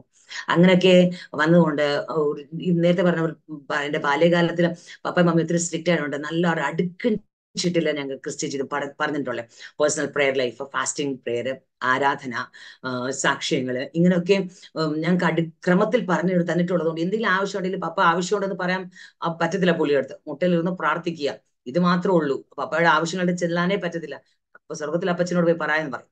അങ്ങനെ നമുക്കൊരു ഒരു ക്രമമായിട്ടുള്ള ജീവിതം പഠിപ്പിച്ചിട്ടുള്ള അങ്ങനെ പ്രതിസന്ധി വന്നപ്പോൾ ഞാൻ ദൈവസ്ഥലിൽ ഇങ്ങനെ പ്രാർത്ഥിക്കാൻ തുടങ്ങി. കാണാപ്പാടം പഠിച്ച സൺഡേ സ്കൂൾ പഠിച്ച കഥകളും പാട്ടുകളും വാക്യങ്ങളും ഒക്കെ കാണാം. ഒരു രക്ഷയില്ല. ഒരു മാറ്റമില്ല. ഭയങ്കര വിഷം. ഇനി ഒരു വാക്ക് ഒരു സ്റ്റെപ്പ് കൂടി ഇനിയും പറയണമെങ്കിൽ ഞങ്ങളെ പാഴ്സനേജിന്റെ അടുത്ത ഭിത്തിയാണ് ആരാധനാലയം. ഒരു ഭിത്തിയുടെ വ്യത്യാസങ്ങളും ദൈവമക്കളെല്ലാം വന്ന പാടി ആരാധിക്കും അവിടെ. അപ്പൊ ഞാൻ എന്റെ അന്നത്തെ ആ മനസ്സല്ലേ ഞാൻ വിചാരിക്കും ഞാൻ ചോറ് കൊടുത്ത് ചായ കൊടുത്ത സഹോദരിമാർ എന്റെ അടുക്ക വരും. സിസ്റ്ററെ എങ്ങനെ ഉണ്ടായിരുന്നു രാത്രി ഉറങ്ങിയോ? വേദന ഉണ്ടായിരുന്നു കഷ്ടമായിരുന്നോ എന്നൊക്കെ എന്നോട് കുശലം ചോദിക്കും ചോദിക്കും എന്റെ കൂടെ ഇരിക്കും പ്രാർത്ഥിക്കും. ആരും വന്നില്ല. സ്പ്രിങ്ങിൽ ആരാധിക്കുന്നവർ പക്ഷെ ആരും വന്നില്ല. ചോദിക്കാനും വന്നില്ല പറയാനും വന്നില്ല. ഭയന്ന് കാണും അവരും പടരുന്നാണെന്നുള്ള ഭയന്ന് കാണും. അറിയത്തില്ല. പക്ഷെ അന്നത്തെ ആ മനസ്സ് എനിക്ക് ഞാൻ ഒറ്റപ്പെട്ട പോലെ എല്ലാവരിലും ഉപേക്ഷിക്കപ്പെട്ടുള്ള പോലെ ചില ചില ദിവസങ്ങൾ ഏകദേശം ഒരാഴ്ച എന്ന് പറയാം. അവിടെ കിടക്കേണ്ടി വന്നു. അങ്ങനെ. ഒരു കാര്യം ഞാൻ പറയാം. സ്തോത്രം. ദൈവം മൗനമായിരിക്കുന്ന സന്ദർഭങ്ങളുണ്ട് ജീവിതത്തിൽ വരും. സ്തോത്രം. എന്ന് പറഞ്ഞാൽ നമ്മൾ ശിക്ഷിക്കപ്പെട്ടവരോ ശപിക്കപ്പെട്ടവരോ അല്ല. സ്തോത്രം. ദൈവം ഞാൻ നേരത്തെ പറഞ്ഞതുപോലെ ദൈവം നമ്മളെ നല്ലൊരു മാനപാത്രമാക്കി എടുക്കാൻ ഒരു ഒരു ഒരു ടൂളാണ് കഷ്ടത എന്ന് പറഞ്ഞത് അതിന്റെ ഒരു അതിൽ അതിന്റെ ഒരു അതിന് വേറൊരു ഭാഗമാണ് ഈ മൗനമായിട്ടിരിക്കുക എന്ന് പറഞ്ഞാൽ. അതിന് ഉദാഹരണമായി ഞാൻ അന്ന് കണ്ടുപിടിച്ചത് സമാധാനിച്ചതൊക്കെ എന്ന് പറഞ്ഞാൽ ദാനിയേൽ ഭക്തനായ ദാനിയേല മൂന്ന് പ്രാവശ്യം പ്രാർത്ഥിക്കുന്ന മനുഷ്യന്. പക്ഷെ സിംഹക്കുഴിയെ പറ്റി നേരത്തെ ദൈവം ഒരു ക്ലൂ പോലും കൊടുത്തിട്ടില്ല. അല്ല അതിൽ നിന്ന് രക്ഷപ്പെടുന്നു പോലും ദൈവം പറഞ്ഞിട്ടില്ല. ഇതെല്ലാം ഉപരിയായി ദാനിയൽ പോലും ദൈവത്തോട് ചോദിച്ചിട്ടുമില്ല. പ്രവൃത്തിയിട്ടില്ല ഞാൻ ഇത്തരം പ്രാർത്ഥിച്ചത് നീ എന്നെ കുഴി കൊണ്ടിടുകയാണോ? ഏഹ് അത് സിംഹത്തിന് കുഴിയിലല്ലേ? എന്നൊരു ചോദ്യം പോലും ചോദിച്ചിട്ട് ബൈബിൾ അവിടെ എഴുതിയിട്ടില്ല. പക്ഷെങ്കിൽ ദൈവം അവിടെ നമ്മളവിടെ കാണുന്നത് ഭക്തനോട് സംസാരിച്ചില്ലെങ്കിലും സിംഹങ്ങളോട് സംസാരിച്ചു. അത് എന്നെ വളരെ ഫീൽ ചെയ്ത്. സംസാരിക്കേണ്ട ഇടത്ത് സംസാരിച്ചു. നമ്മളോട് സംസാരിച്ചില്ല നമ്മളെ വിടിവിച്ചില്ല എന്നെടുത്ത് ഭാരപ്പെടേണ്ട കാര്യമില്ല. സംസാരിക്കേണ്ട ഇടങ്ങളിൽ ദൈവം സംസാരിച്ചിരിക്കും. ഒറ്റ വാക്ക് പറഞ്ഞാൽ മതി. സഭയിലെ സഹോദരൻ പീറ്റേഴ്സൺ രാവിലെ വന്നു. വന്നിട്ട് പറഞ്ഞു പാസ്റ്ററെ സിസ്റ്റർ ഇത്ര അവശതയായി കിടക്കുകയാണല്ലോ എനിക്ക് ഒരു ഫിസിഷ്യനെ പരിചയമുണ്ട്. ഞങ്ങൾ നമ്മൾ അദ്ദേഹത്തെ കൊണ്ട് കാണിക്കാൻ പറഞ്ഞു. പുള്ളിയുടെ മാരുതിക്കാരിൽ ഞങ്ങൾ രാവിലെ രാവിലെ ഏഴ് മണിക്ക് പുള്ളി വന്നു. ഞാൻ എന്നെ കൊണ്ടുപോയി അവിടെ അഡ്മിറ്റ് ചെയ്തു. ഡോക്ടറിനെ കണ്ട ഉടനെ പറഞ്ഞു ലുക്കീമിയ ബ്ലഡ് ക്യാൻസർ ആന്ന് പറഞ്ഞു. ബ്ലഡ് മാറ്റണം എന്ന് പറഞ്ഞു. ഓ പോസിറ്റീവാ ഈസി ആയിട്ട് കിട്ടേണ്ട ബ്ലഡാ പക്ഷെ അത് പതിനൊന്ന് മണിയായിട്ട് ബ്ലഡ് കിട്ടുന്നില്ല. പട്ടണത്തിൽ വിവിധ ഭാഗത്ത് കൊണ്ടൊന്നും ബ്ലഡ് കിട്ടുന്നില്ല. ഈ സമയത്ത് ഏഴ് തൊട്ട് പതിനൊന്ന് മണി വരെയുള്ള സമയത്തിൽ എനിക്ക് ശ്വാസമുട്ടൽ വളരെ തുടങ്ങി. ശ്വാസമുട്ടൽ ഭയങ്കര ഭയങ്കരമായതുകൊണ്ട് അവരാദ്യം സ്റ്റെറോയിഡ്സ് തന്നു. ബോഡി അക്സെപ്റ്റ് ചെയ്തില്ല ഓക്സിജൻ തന്നു. അക്സെപ്റ്റ് ബോഡി തന്നെ എടുക്കുന്നില്ല. ഗ്യാസ്പിംഗ് ആയി. അന്ത്യശ്വാസം നടത്തില്ല? വലിക്കുന്ന ഗ്യാസ്പിംഗ് തുടങ്ങി. അപ്പോഴത്തേക്കും ഡോക്ടേഴ്സ് മനസ്സിലായി. ഒരു രക്ഷയില്ല. അസുഖം കണ്ടുപിടിച്ചിട്ടില്ല. ട്രീറ്റ്മെന്റ് കൊടുത്തിട്ടില്ല. പ്രൈവറ്റ് ഹോസ്പിറ്റലാണ് മരിച്ചാൽ കേസ് ഉണ്ടാകും. പെട്ടെന്ന് പറഞ്ഞു ഇവിടെ ഷിഫ്റ്റ് ചെയ്തേക്കാൻ പറഞ്ഞു. അങ്ങനത്തെ ഒരു പ്രതിസന്ധി ആയപ്പോഴത്തേന് ഇതൊരു ഭാഗത്ത് നടക്കുമ്പോഴത്തേന് എന്റെ ഉള്ളിൽ ഒരു ചിന്ത ഇങ്ങനെ വരാൻ തുടങ്ങി. ഞാൻ ഇപ്പോൾ മരിച്ചാൽ. ഞാൻ വെറുങ്കയോടെ ദൈവത്തിൽ ചെല്ലേണ്ടി വരും. എന്റെ ആഗ്രഹം ചെറുപ്പത്തൊട്ടേ ഉണ്ടായിരുന്നു. ആത്മാക്കളെ നേടണമെന്നൊരു ആഗ്രഹം എന്റെ ചെറുപ്പത്തിലെ ആട് പറഞ്ഞ ഉള്ളിന്റെ ഉള്ളിലൊരു ഉണ്ടായിരുന്ന സംഭവമാണ്. അപ്പൊ ഞാൻ ദൈവത്തോട് പറഞ്ഞ കർത്താവേ നീ എനിക്ക് ഇച്ചിരി സമയം കൂടി തന്നാൽ ചെറിയൊരു സമയം കൂടി. ഞാൻ ഹീലാക്കാൻ സൗഖ്യമാക്കാൻ ഞാൻ പ്രാർത്ഥിച്ചിട്ടില്ല ആഗ്രഹിച്ചിട്ടുമില്ല അന്ന്. ഞാൻ ഇച്ചിരി സമയം കൂടി എനിക്ക് തന്നാൽ ഞാൻ ആത്മാക്കളെ നേടി. നിന്റെ കയ്യിൽ ചെറിയൊരു ഓഫറിംഗ് ആയിട്ട് നിന്റെ ഞാൻ വന്നിന്നോളാം നിന്നോട് തരുന്ന ഒരു വാക്കാണ്. നീ എനിക്കത് ചെയ്തു തരണം. അതുപോലെ തന്നെ ചെറുപ്രായത്തിൽ ഒരുപാട് പാസ്മാർ പ്രസംഗിച്ചൊക്കെ കേട്ട് നമ്മുടെ ഉടമ്പടികൾ ഉടമ്പടി ചെയ്താൽ ദൈവം വിടുവിക്കും. ദൈവം ഉടമ്പടി ചെയ്തു. അബ്രഹാം ഇങ്ങനെയൊക്കെ പ്രസംഗം കേട്ടുള്ള പെട്ടെന്ന് എന്റെ മനസ്സിലൊരു ചിന്ത വന്നു.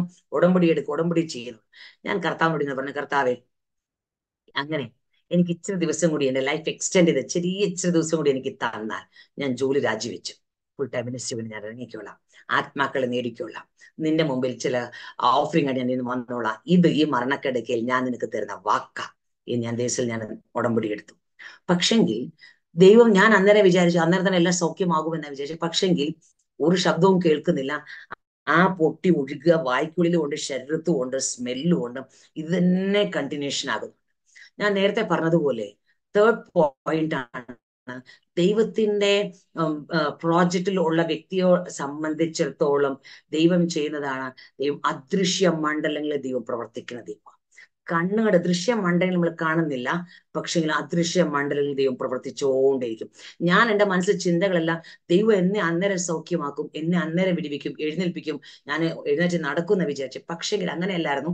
ആ പ്രോസസ്സ് അങ്ങനെ ഉണ്ടായിരുന്നെങ്കിൽ ഉണ്ടായിരുന്ന കഷ്ടത്തിന്റെ പ്രോസസ്സ് അങ്ങനെ തന്നെ നീങ്ങിക്കൊണ്ടിരുന്നെങ്കിൽ തന്നെയും അദൃശ്യ മണ്ഡലം പ്രവർത്തിച്ചു. അത് ഞാൻ എക്സ്പ്ലെയിൻ ചെയ്യാം. പതിനൊന്ന് മണിയായി ഇത്രയെല്ലാം കോംപ്ലിക്കേറ്റഡ് നടന്നുകൊണ്ടിരിക്കുമ്പോൾ തന്നെ ഡോക്ടർ സിസ്റ്റർ എന്ന് പറഞ്ഞു ടൂ തൗസൻഡ് റുപ്പീസ് പേ ബില്ലായിട്ടുണ്ട് പേ ചെയ്യണം.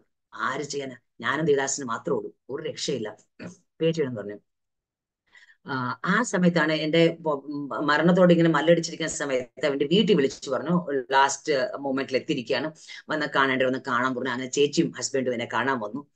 ചേച്ചി എന്റെ അടുത്ത് ഞാൻ വന്ന് കണ്ണു തുറന്ന് നോക്കിയപ്പോൾ എന്റെ സിസ്റ്റർ അടുത്ത് നിൽക്കുക. അപ്പൊ എന്റെ ഹൃദയം പൊട്ടിപ്പോയി. കാരണം കാണാൻ ആഗ്രഹിച്ചിരിക്കുകയായിരുന്നു അവളെ. ഒന്ന് കെട്ടിപ്പിടിച്ച് കരയണമെന്നും സങ്കടങ്ങളെല്ലാം അവളോട് പറയണമെന്നും ഇത്ര ദിവസം വിങ്ങി പൊട്ടിയിരിക്കുക. എല്ലാം അവളോട് ഷെയർ ചെയ്യണമെന്നൊക്കെ ആഗ്രഹിച്ച് ഞാൻ ഇങ്ങനെ ഇരിക്കുക അപ്പൊ നോക്കി എന്റെ ശരീരം എല്ലാം പൊട്ടി അളിഞ്ഞ് ഇങ്ങനെ ഇരിക്കുന്നുണ്ട്. അവളുടെ അടുക്കൽ പോകാൻ പറ്റത്തില്ല. അവക്കും എന്റെ അടുക്ക വരാൻ പറ്റത്തില്ല. ഞാനിങ്ങനെ മനസ്സിലിങ്ങനെ ഞാനിങ്ങനെ സംസാരിക്കാൻ പറ്റത്തില്ല. ശ്വാസം മുട്ടലുണ്ട്. വായു വ്രണമുണ്ട്. പഴുപ്പിങ്ങനെ ഒഴുകിക്കൊണ്ടിരിക്കുക. അങ്ങനെ നമ്മളോട് സംസാരം കഷ്ടപ്പെട്ട് ഞാൻ ഇങ്ങനെ പറഞ്ഞു അക്ക ഊരപ്പന്റെ മക്കളായിട്ട് ജനിച്ച് പ്രാർത്ഥന ഞാൻ പോവാം എന്ന്. ഇത്ര പറഞ്ഞങ്ങ് നിർത്തി. പറയാൻ ബുദ്ധിമുട്ടാ. അപ്പം ചേച്ചിയോട് പറഞ്ഞു മോളെ അങ്ങനെയല്ല. നമ്മൾ ദേവദാസന്റെ മക്കളല്ലേ. ദേവദാസ് ഭാര്യ നീ വിശ്വസിക്കുക ചിലപ്പോൾ നമ്മുടെ ദൈവത്തിന്റെ പ്രവർത്തി ലാസ്റ്റ് മൊമെന്റിലായിരിക്കാം നീ വിശ്വസിക്കുക മാത്രം ചെയ്യാൻ തുടങ്ങും. അതിനെ അക്സെപ്റ്റ് ചെയ്യുന്ന ആ സന്ദർഭം അല്ല എനിക്ക്. ഇങ്ങോട്ട് തിരിഞ്ഞു നോക്കിയപ്പോൾ തന്നെ പാസ് നിൽക്കുക. ഓ ഹൃദയം പൊട്ടിപ്പോയിണ്ട് ആ മനുഷ്യനെ കണ്ടു. നിസ്സഹായളായിട്ട് പുള്ളി നിസ്സഹായനായിട്ട് പുള്ളി എന്നെ നോക്കിക്കൊണ്ടിരിക്കുക. എനിക്ക് വളരെ പ്രയാസം തോന്നി. ഞാൻ പറഞ്ഞു അച്ഛായ ഒരു വർഷം നമുക്ക് ജീവിക്കാൻ പറ്റുള്ളൂ. ഞാൻ പോവാം. നിങ്ങളൊരു കാര്യം ചെയ്യണം. ഇങ്ങനെ സംഭവിച്ചായിട്ട് നിങ്ങൾ മറക്കണം. നല്ലൊരു സുവിശേഷ വേലയ്ക്ക് പ്രയോജനമുള്ള താല്പര്യമുള്ള സമർപ്പണമുള്ള പെൺകുട്ടി പെൺകുട്ടിയെ നിങ്ങൾ കണ്ടെത്തണം. എന്നിട്ട് ആ പെൺ പെൺകുട്ടിയെ നിങ്ങൾ വിവാഹം കഴിച്ച് മിനിസ്ട്രി തുടരണം. ഒരിക്കൽ പോലും ഇങ്ങനെ ഒരു സംഭവം നിങ്ങളുടെ ജീവിതത്തിൽ നടന്നുള്ള ഒരു ചിന്ത പോലും നിങ്ങളിൽ വരല്ലേ? നിങ്ങൾ മറക്കണം മിനിസ്ട്രിയിൽ നീ നിൽക്കണം എന്റെ ആഗ്രഹം. കഷ്ടപ്പെട്ടത്ര പറഞ്ഞു ഒപ്പിച്ചു. പുള്ളി പറഞ്ഞ ഒറ്റ വാക്കാ മനസ്സിലെ തമ്പുരാന് എനിക്ക് നിന്നെയാ തന്നെ നിങ്ങൾ സൂക്ഷിച്ച വില ചെയ്യാം. എന്റെ ജീവിതം ലാസ്റ്റ് മൊമെന്റ് വരെ നീ എന്റെ കൂടെ കാണാൻ എനിക്ക് നല്ല വിശ്വാസമുണ്ടെന്ന് പറഞ്ഞു. അത് ദൈവം നേരത്തെ പറഞ്ഞില്ല ആത്മാവിനെ ഞെരക്കം എന്ന് പറഞ്ഞില്ലേ? തമ്പുരാൻ തന്നെ തോന്നുന്നത് ആ മീൻ സ്തോത്രം ഞാൻ എനിക്കൊന്നും പറയാൻ പറ്റത്തില്ല. അങ്ങനെ ഇരിക്കുമ്പോഴാ നഴ്സസ് സ്റ്റേഷൻ ഒരു സിസ്റ്റർ ഓടി വന്നിട്ട് പറഞ്ഞു സിസ്റ്റർ ഡോളിയുടെ അമൗണ്ട് പേ ചെയ്ത് കഴിഞ്ഞു. ആശ്ചര്യമാ. കാരണം ഞങ്ങളുടെ ആരാ പേ ചെയ്തത്? ഇനി ഇരുപത്തഞ്ച് വർഷം കഴിഞ്ഞു രവിദാസിന്. ഈ സമയം വരെ ഈ ടൂ തൗസൻഡ് റുപ്പീസ് അടച്ച ആരും ഞങ്ങൾക്ക് അറിയത്തില്ല അങ്ങനെ ഇനി ബിൽ പേ ചെയ്ത് എങ്ങോട്ട് കൊണ്ടുപോകാനാ? എങ്ങനെ കൊണ്ടു? ഈ ശരീരം അളിഞ്ഞിരിക്കുന്ന ശേഷം പിന്നെ പാഴ്സേജ് കൊണ്ടിരുന്നു എങ്ങനെ കൊണ്ടുപോകാൻ കൈ കാശൊന്നുമില്ല ഇങ്ങനെ പാസിൽ നോക്കി നിൽക്കുമ്പോൾ തന്നെ ഒരു അച്ചായൻ വന്നു. മർത്തോമേല ഒരു അച്ചായന. അദ്ദേഹം കണ്ട് പരിചയമുള്ളൂ അല്ലാതെ അദ്ദേഹം ഞങ്ങളുടെ വീട്ടിൽ വരുമോ ഞങ്ങൾ പുള്ളിയുടെ വീട്ടിൽ പോയി പറയുമോ സുഷ പറയുമോ ഒരു ഗ്ലാസ് ചായ കൊടുക്കും. ഒന്നും ചെയ്തിട്ടില്ല. നടക്കുന്ന വഴി പോകുന്ന സമയത്ത് പാസ്റ്ററുള്ള പരിചയപ്പെട്ടിട്ടുണ്ടെന്നേ ഉള്ളൂ. ആ പാസ് പറഞ്ഞു ആ അച്ചായൻ വന്നിട്ട് പറഞ്ഞു പാസ് പാസ്റ്റർ വൈഫ് ഇങ്ങനെ സീരിയസ് ആയിട്ട് ഹോസ്പിറ്റലിൽ ഉണ്ടെന്ന് ഞാൻ കേട്ടു. ഒന്ന് കാണാൻ വന്നാന്ന് നമ്മുടെ ഈ പരിതാപകരമായ അവസ്ഥ പുള്ളി കണ്ടു. അപ്പൊ പുള്ളി പറഞ്ഞു ഞാൻ മാതി വാനിൽ വന്നിരിക്കുന്നത് നമുക്ക് ഈ പുള്ളിക്കാരിയെ കൊണ്ടുവന്ന് സെന്റ് ജോൺസ് മെഡിക്കൽ കോളേജിൽ കൊണ്ട് വിട്ടാലോ? അഡ്മിറ്റ് ചെയ്താലോ എന്ന് പറഞ്ഞു. ഇത് ഞാൻ പറഞ്ഞ അദൃശ്യ മണ്ഡലങ്ങൾ പ്രവർത്തിക്കുന്ന ദൈവം എന്ന് പറഞ്ഞു. പ്രതിസന്ധി ഇങ്ങനെ കണ്ടിന്യൂ ആകുന്നുണ്ട്. ബിൽ പേ ചെയ്ത് തരുന്നില്ല ഈ അച്ചായനെ അത് വിത്ത് വാഹനമാണ് പുള്ളി വന്നിരിക്കുന്നത് പുള്ളി മാരുതി വാനിൽ ട്രോളിയിൽ ഓക്സിജൻ സിലിണ്ടറോടുകൂടി മെഡിക്കൽ കോളേജിൽ സെന്റ് ജോൺസ് മെഡിക്കൽ കോളേജിലോട്ട് കാഷ്വാലിറ്റിയിലോട്ട് പോകുമ്പോൾ പുള്ളി ഈ ആ പൊട്ടി ഇങ്ങനെ കിടക്കുന്ന വ്രണമുള്ള ശരീരമല്ലേ? അവർ അകത്തോട്ട് കാഷ്വാലിറ്റിയോട്ട് അകത്ത് കയറി പറഞ്ഞത് ഇൻഫെക്ഷ്യസ് കേസാണ് മറ്റു പേഷ്യൻസ് പടരുമോന്ന് അറിയത്തില്ല. അതുകൊണ്ട് പെട്ടെന്ന് രണ്ടായിരം രൂപ അടയ്ക്കുക. ബിൽ പേ ചെയ്തിട്ട് നേരെ സ്പെഷ്യൽ വാർഡിലോട്ട് പോകാൻ പറഞ്ഞു. ആരടയ്ക്കാനാ? പാസ്റ്റ് ഇങ്ങനെ നിൽക്കുക. അപ്പം ഏകദേശം ഹാഫ് ആൻ അവർ അവിടെ കിടക്കേണ്ടി വന്നു വെളിയിൽ അത്ഭുതം. പിന്നെ ട്രോളി മൂവ് ആയതറിയാം. ആരെ ഇന്നേ വരെ ഈ ഫോർ തൗസൻഡ് റുപ്പീസ് ബില്ല് ആരടച്ചെന്ന് അറിയത്തില്ല പാസ്റ്ററെ ഞാൻ ഒറ്റ കാര്യം ഞാൻ പ്രേക്ഷകരോട് പറയാൻ ആഗ്രഹിക്കുന്ന കാര്യം അറിയോ? കഷ്ടത എന്ന് പറഞ്ഞാൽ ദൈവം അനുവദിക്കുന്ന കഷ്ടതയുണ്ട്. നമ്മൾ നമ്മൾ വഴിയായിട്ട് കഷ്ടത വരുന്നത് കൊണ്ട് ദൈവം അനുവദിച്ചിട്ട് ആ കഷ്ടത വരുന്നുണ്ടല്ലോ. അതിന് പൂർണ ഉത്തരവാദിത്ത തമ്പുരാൻ ഏറ്റെടുക്കും എന്നുള്ളതാണ് സത്യാവസ്ഥ. അങ്ങനെ കഷ്ടത്തിൽ കൂടി ദൈവം കടത്തി വിടുന്നുണ്ട്. ഓരോ വ്യക്തികളെയും സാമ്പത്തികം വ്യക്തികളെ ഓഫീസേഴ്സ് ഡോക്ടേഴ്സ് അതിന്റെ ആ കാര്യക്രമത്തിൽ ദൈവം ചെയ്തു. നമ്മുടെ ദൈവം ക്രമങ്ങളുടെ ദൈവമാ. അങ്ങനെ ക്രമത്തിന് ദൈവം ചെയ്തുകൊണ്ട് വരികയാണ്. അങ്ങനെ എന്നെ സ്പെഷ്യൽ വാർഡിലോട്ട് ഷിഫ്റ്റ് ചെയ്തു. ഇത് തന്നെ അവിടെ ഇൻവെസ്റ്റിഗേഷൻസ് എല്ലാം അയച്ചു. നെഗറ്റീവ്സ് നോർമൽ എന്ന് വന്നു.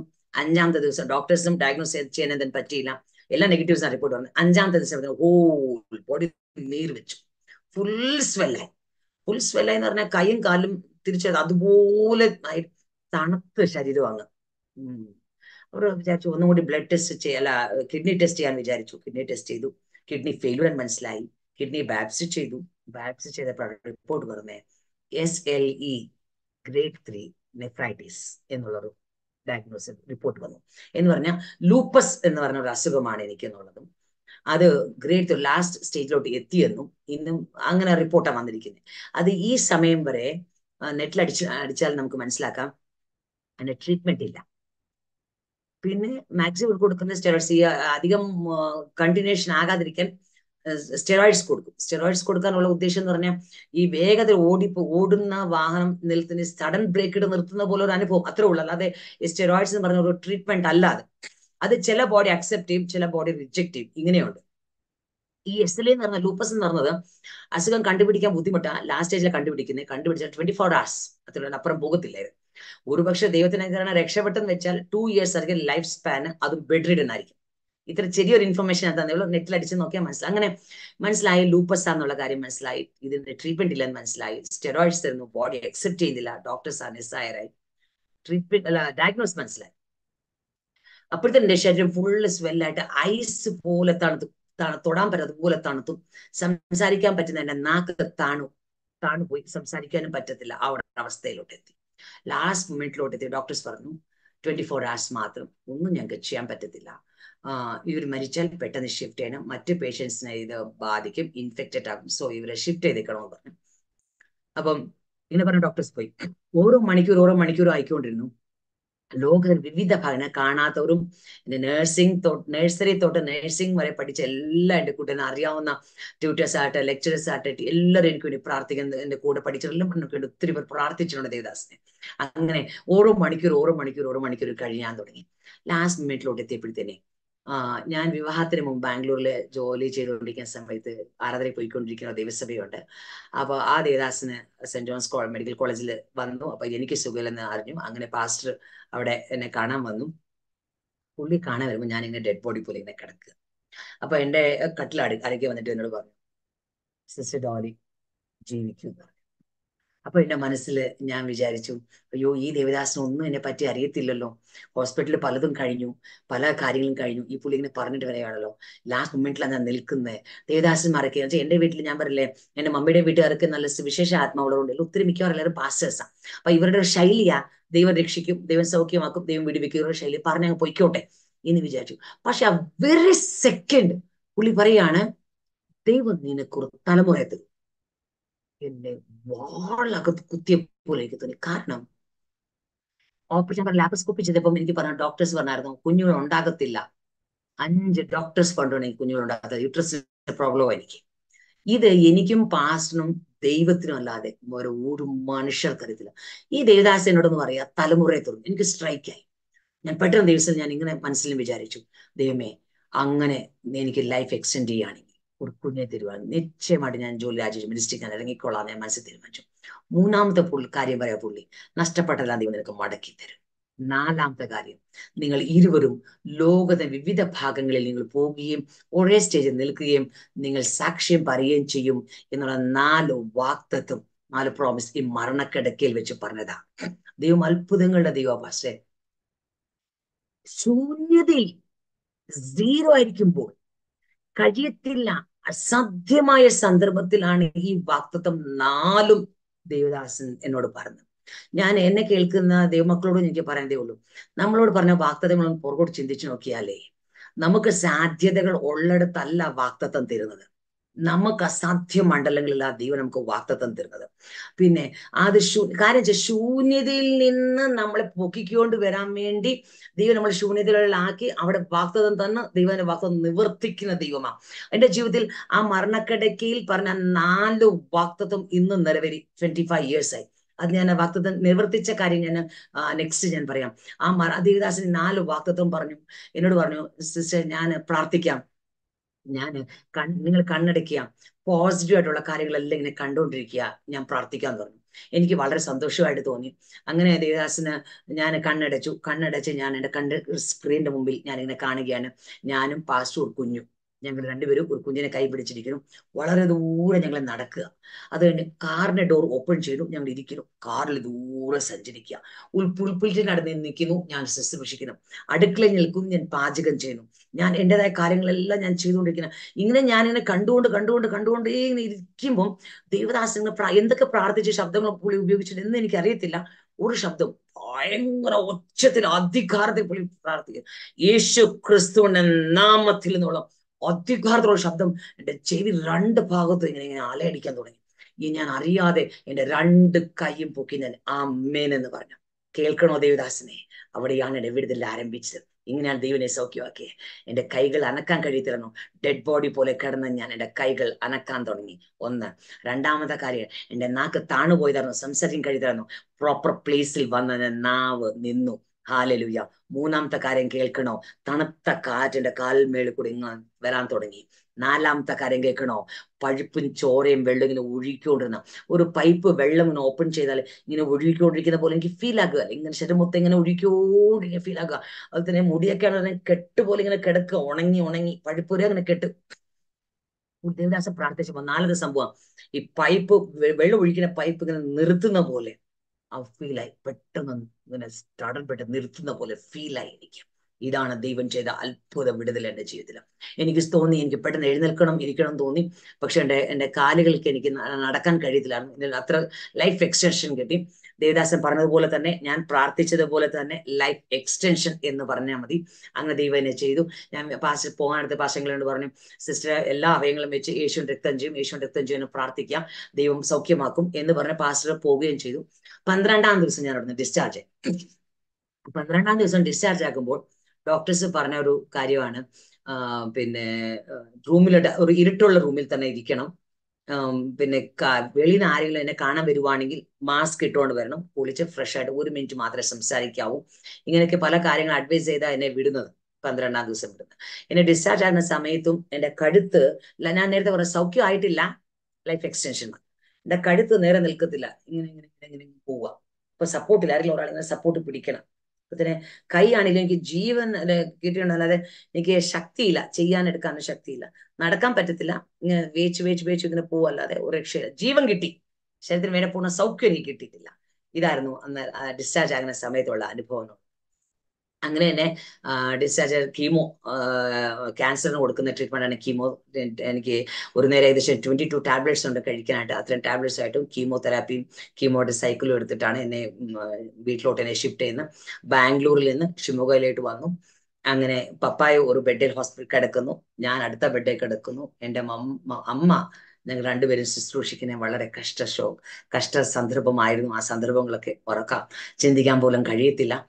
അങ്ങനെ ഒരു രണ്ടാഴ്ച കൂടി കഴിഞ്ഞപ്പോൾ എന്റെ പപ്പ ഈ ലോകം വിട്ട് കടന്നുപോയി. പപ്പ മരിച്ചുപോയി. ഞാൻ തകർന്നു. രണ്ടു മാസം ഞാൻ മാനസിക രോഗിയായിരുന്നു. കാരണം വെച്ചാൽ എന്റെ മനസ്സിൽ എന്റെ ചിന്ത ദൈവം കഴിഞ്ഞാൽ അടുത്തത് എന്റെ പപ്പ.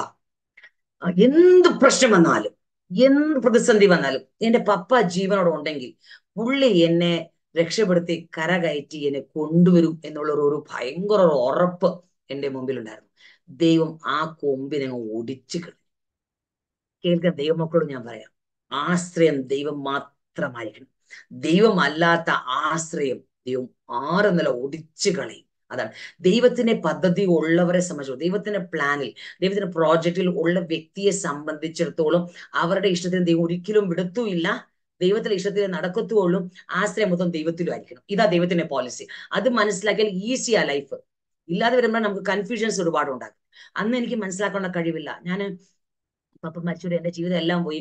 ഹസ്ബൻഡ് എന്നെ വിട്ടിട്ട് പോകും. അന്നൊക്കെ ഒരു അമ്മ വിധവയായി. ഒരു രക്ഷയില്ല.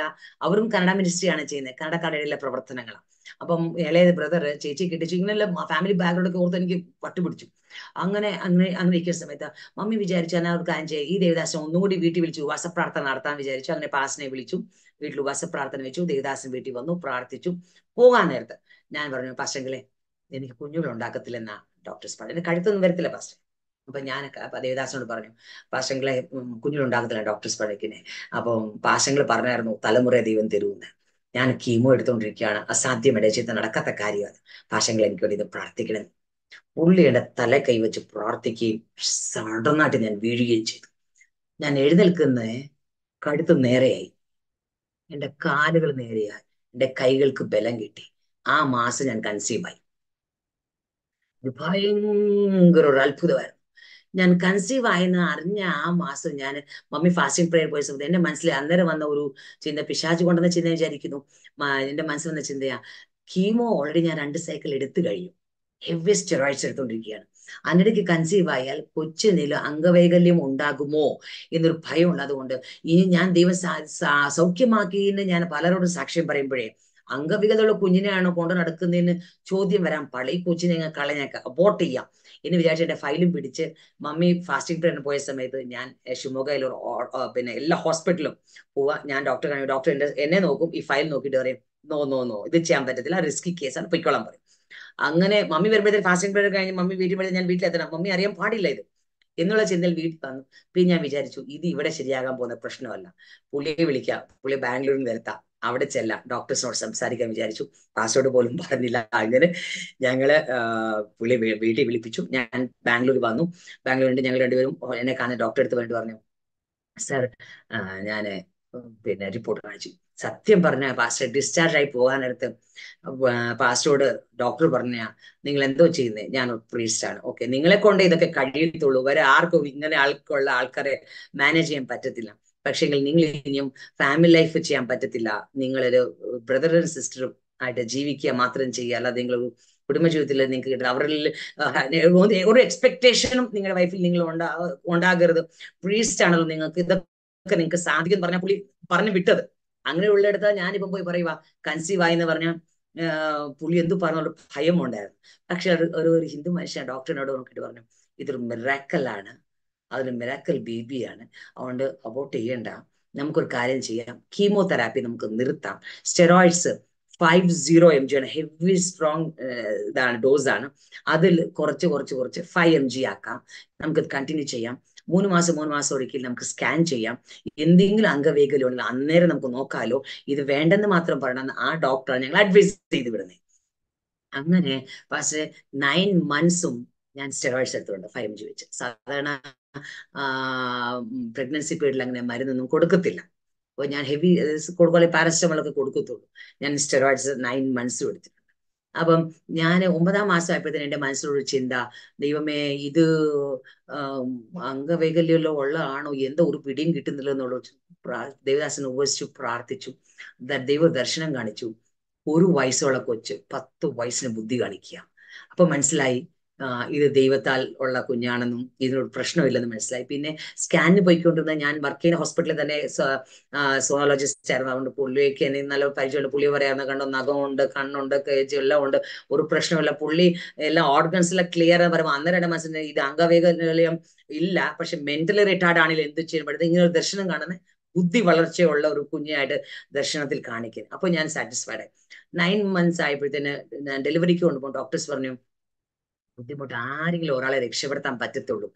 കാരണം ഇത് റിട്രോബോട്ടഡ് ഡ്യൂട്രസ് ആണ്. അതുകൊണ്ട് നോർമൽ ഡെലിവറി ആകത്തില്ല. സിസറിയൻ ചെയ്യണം.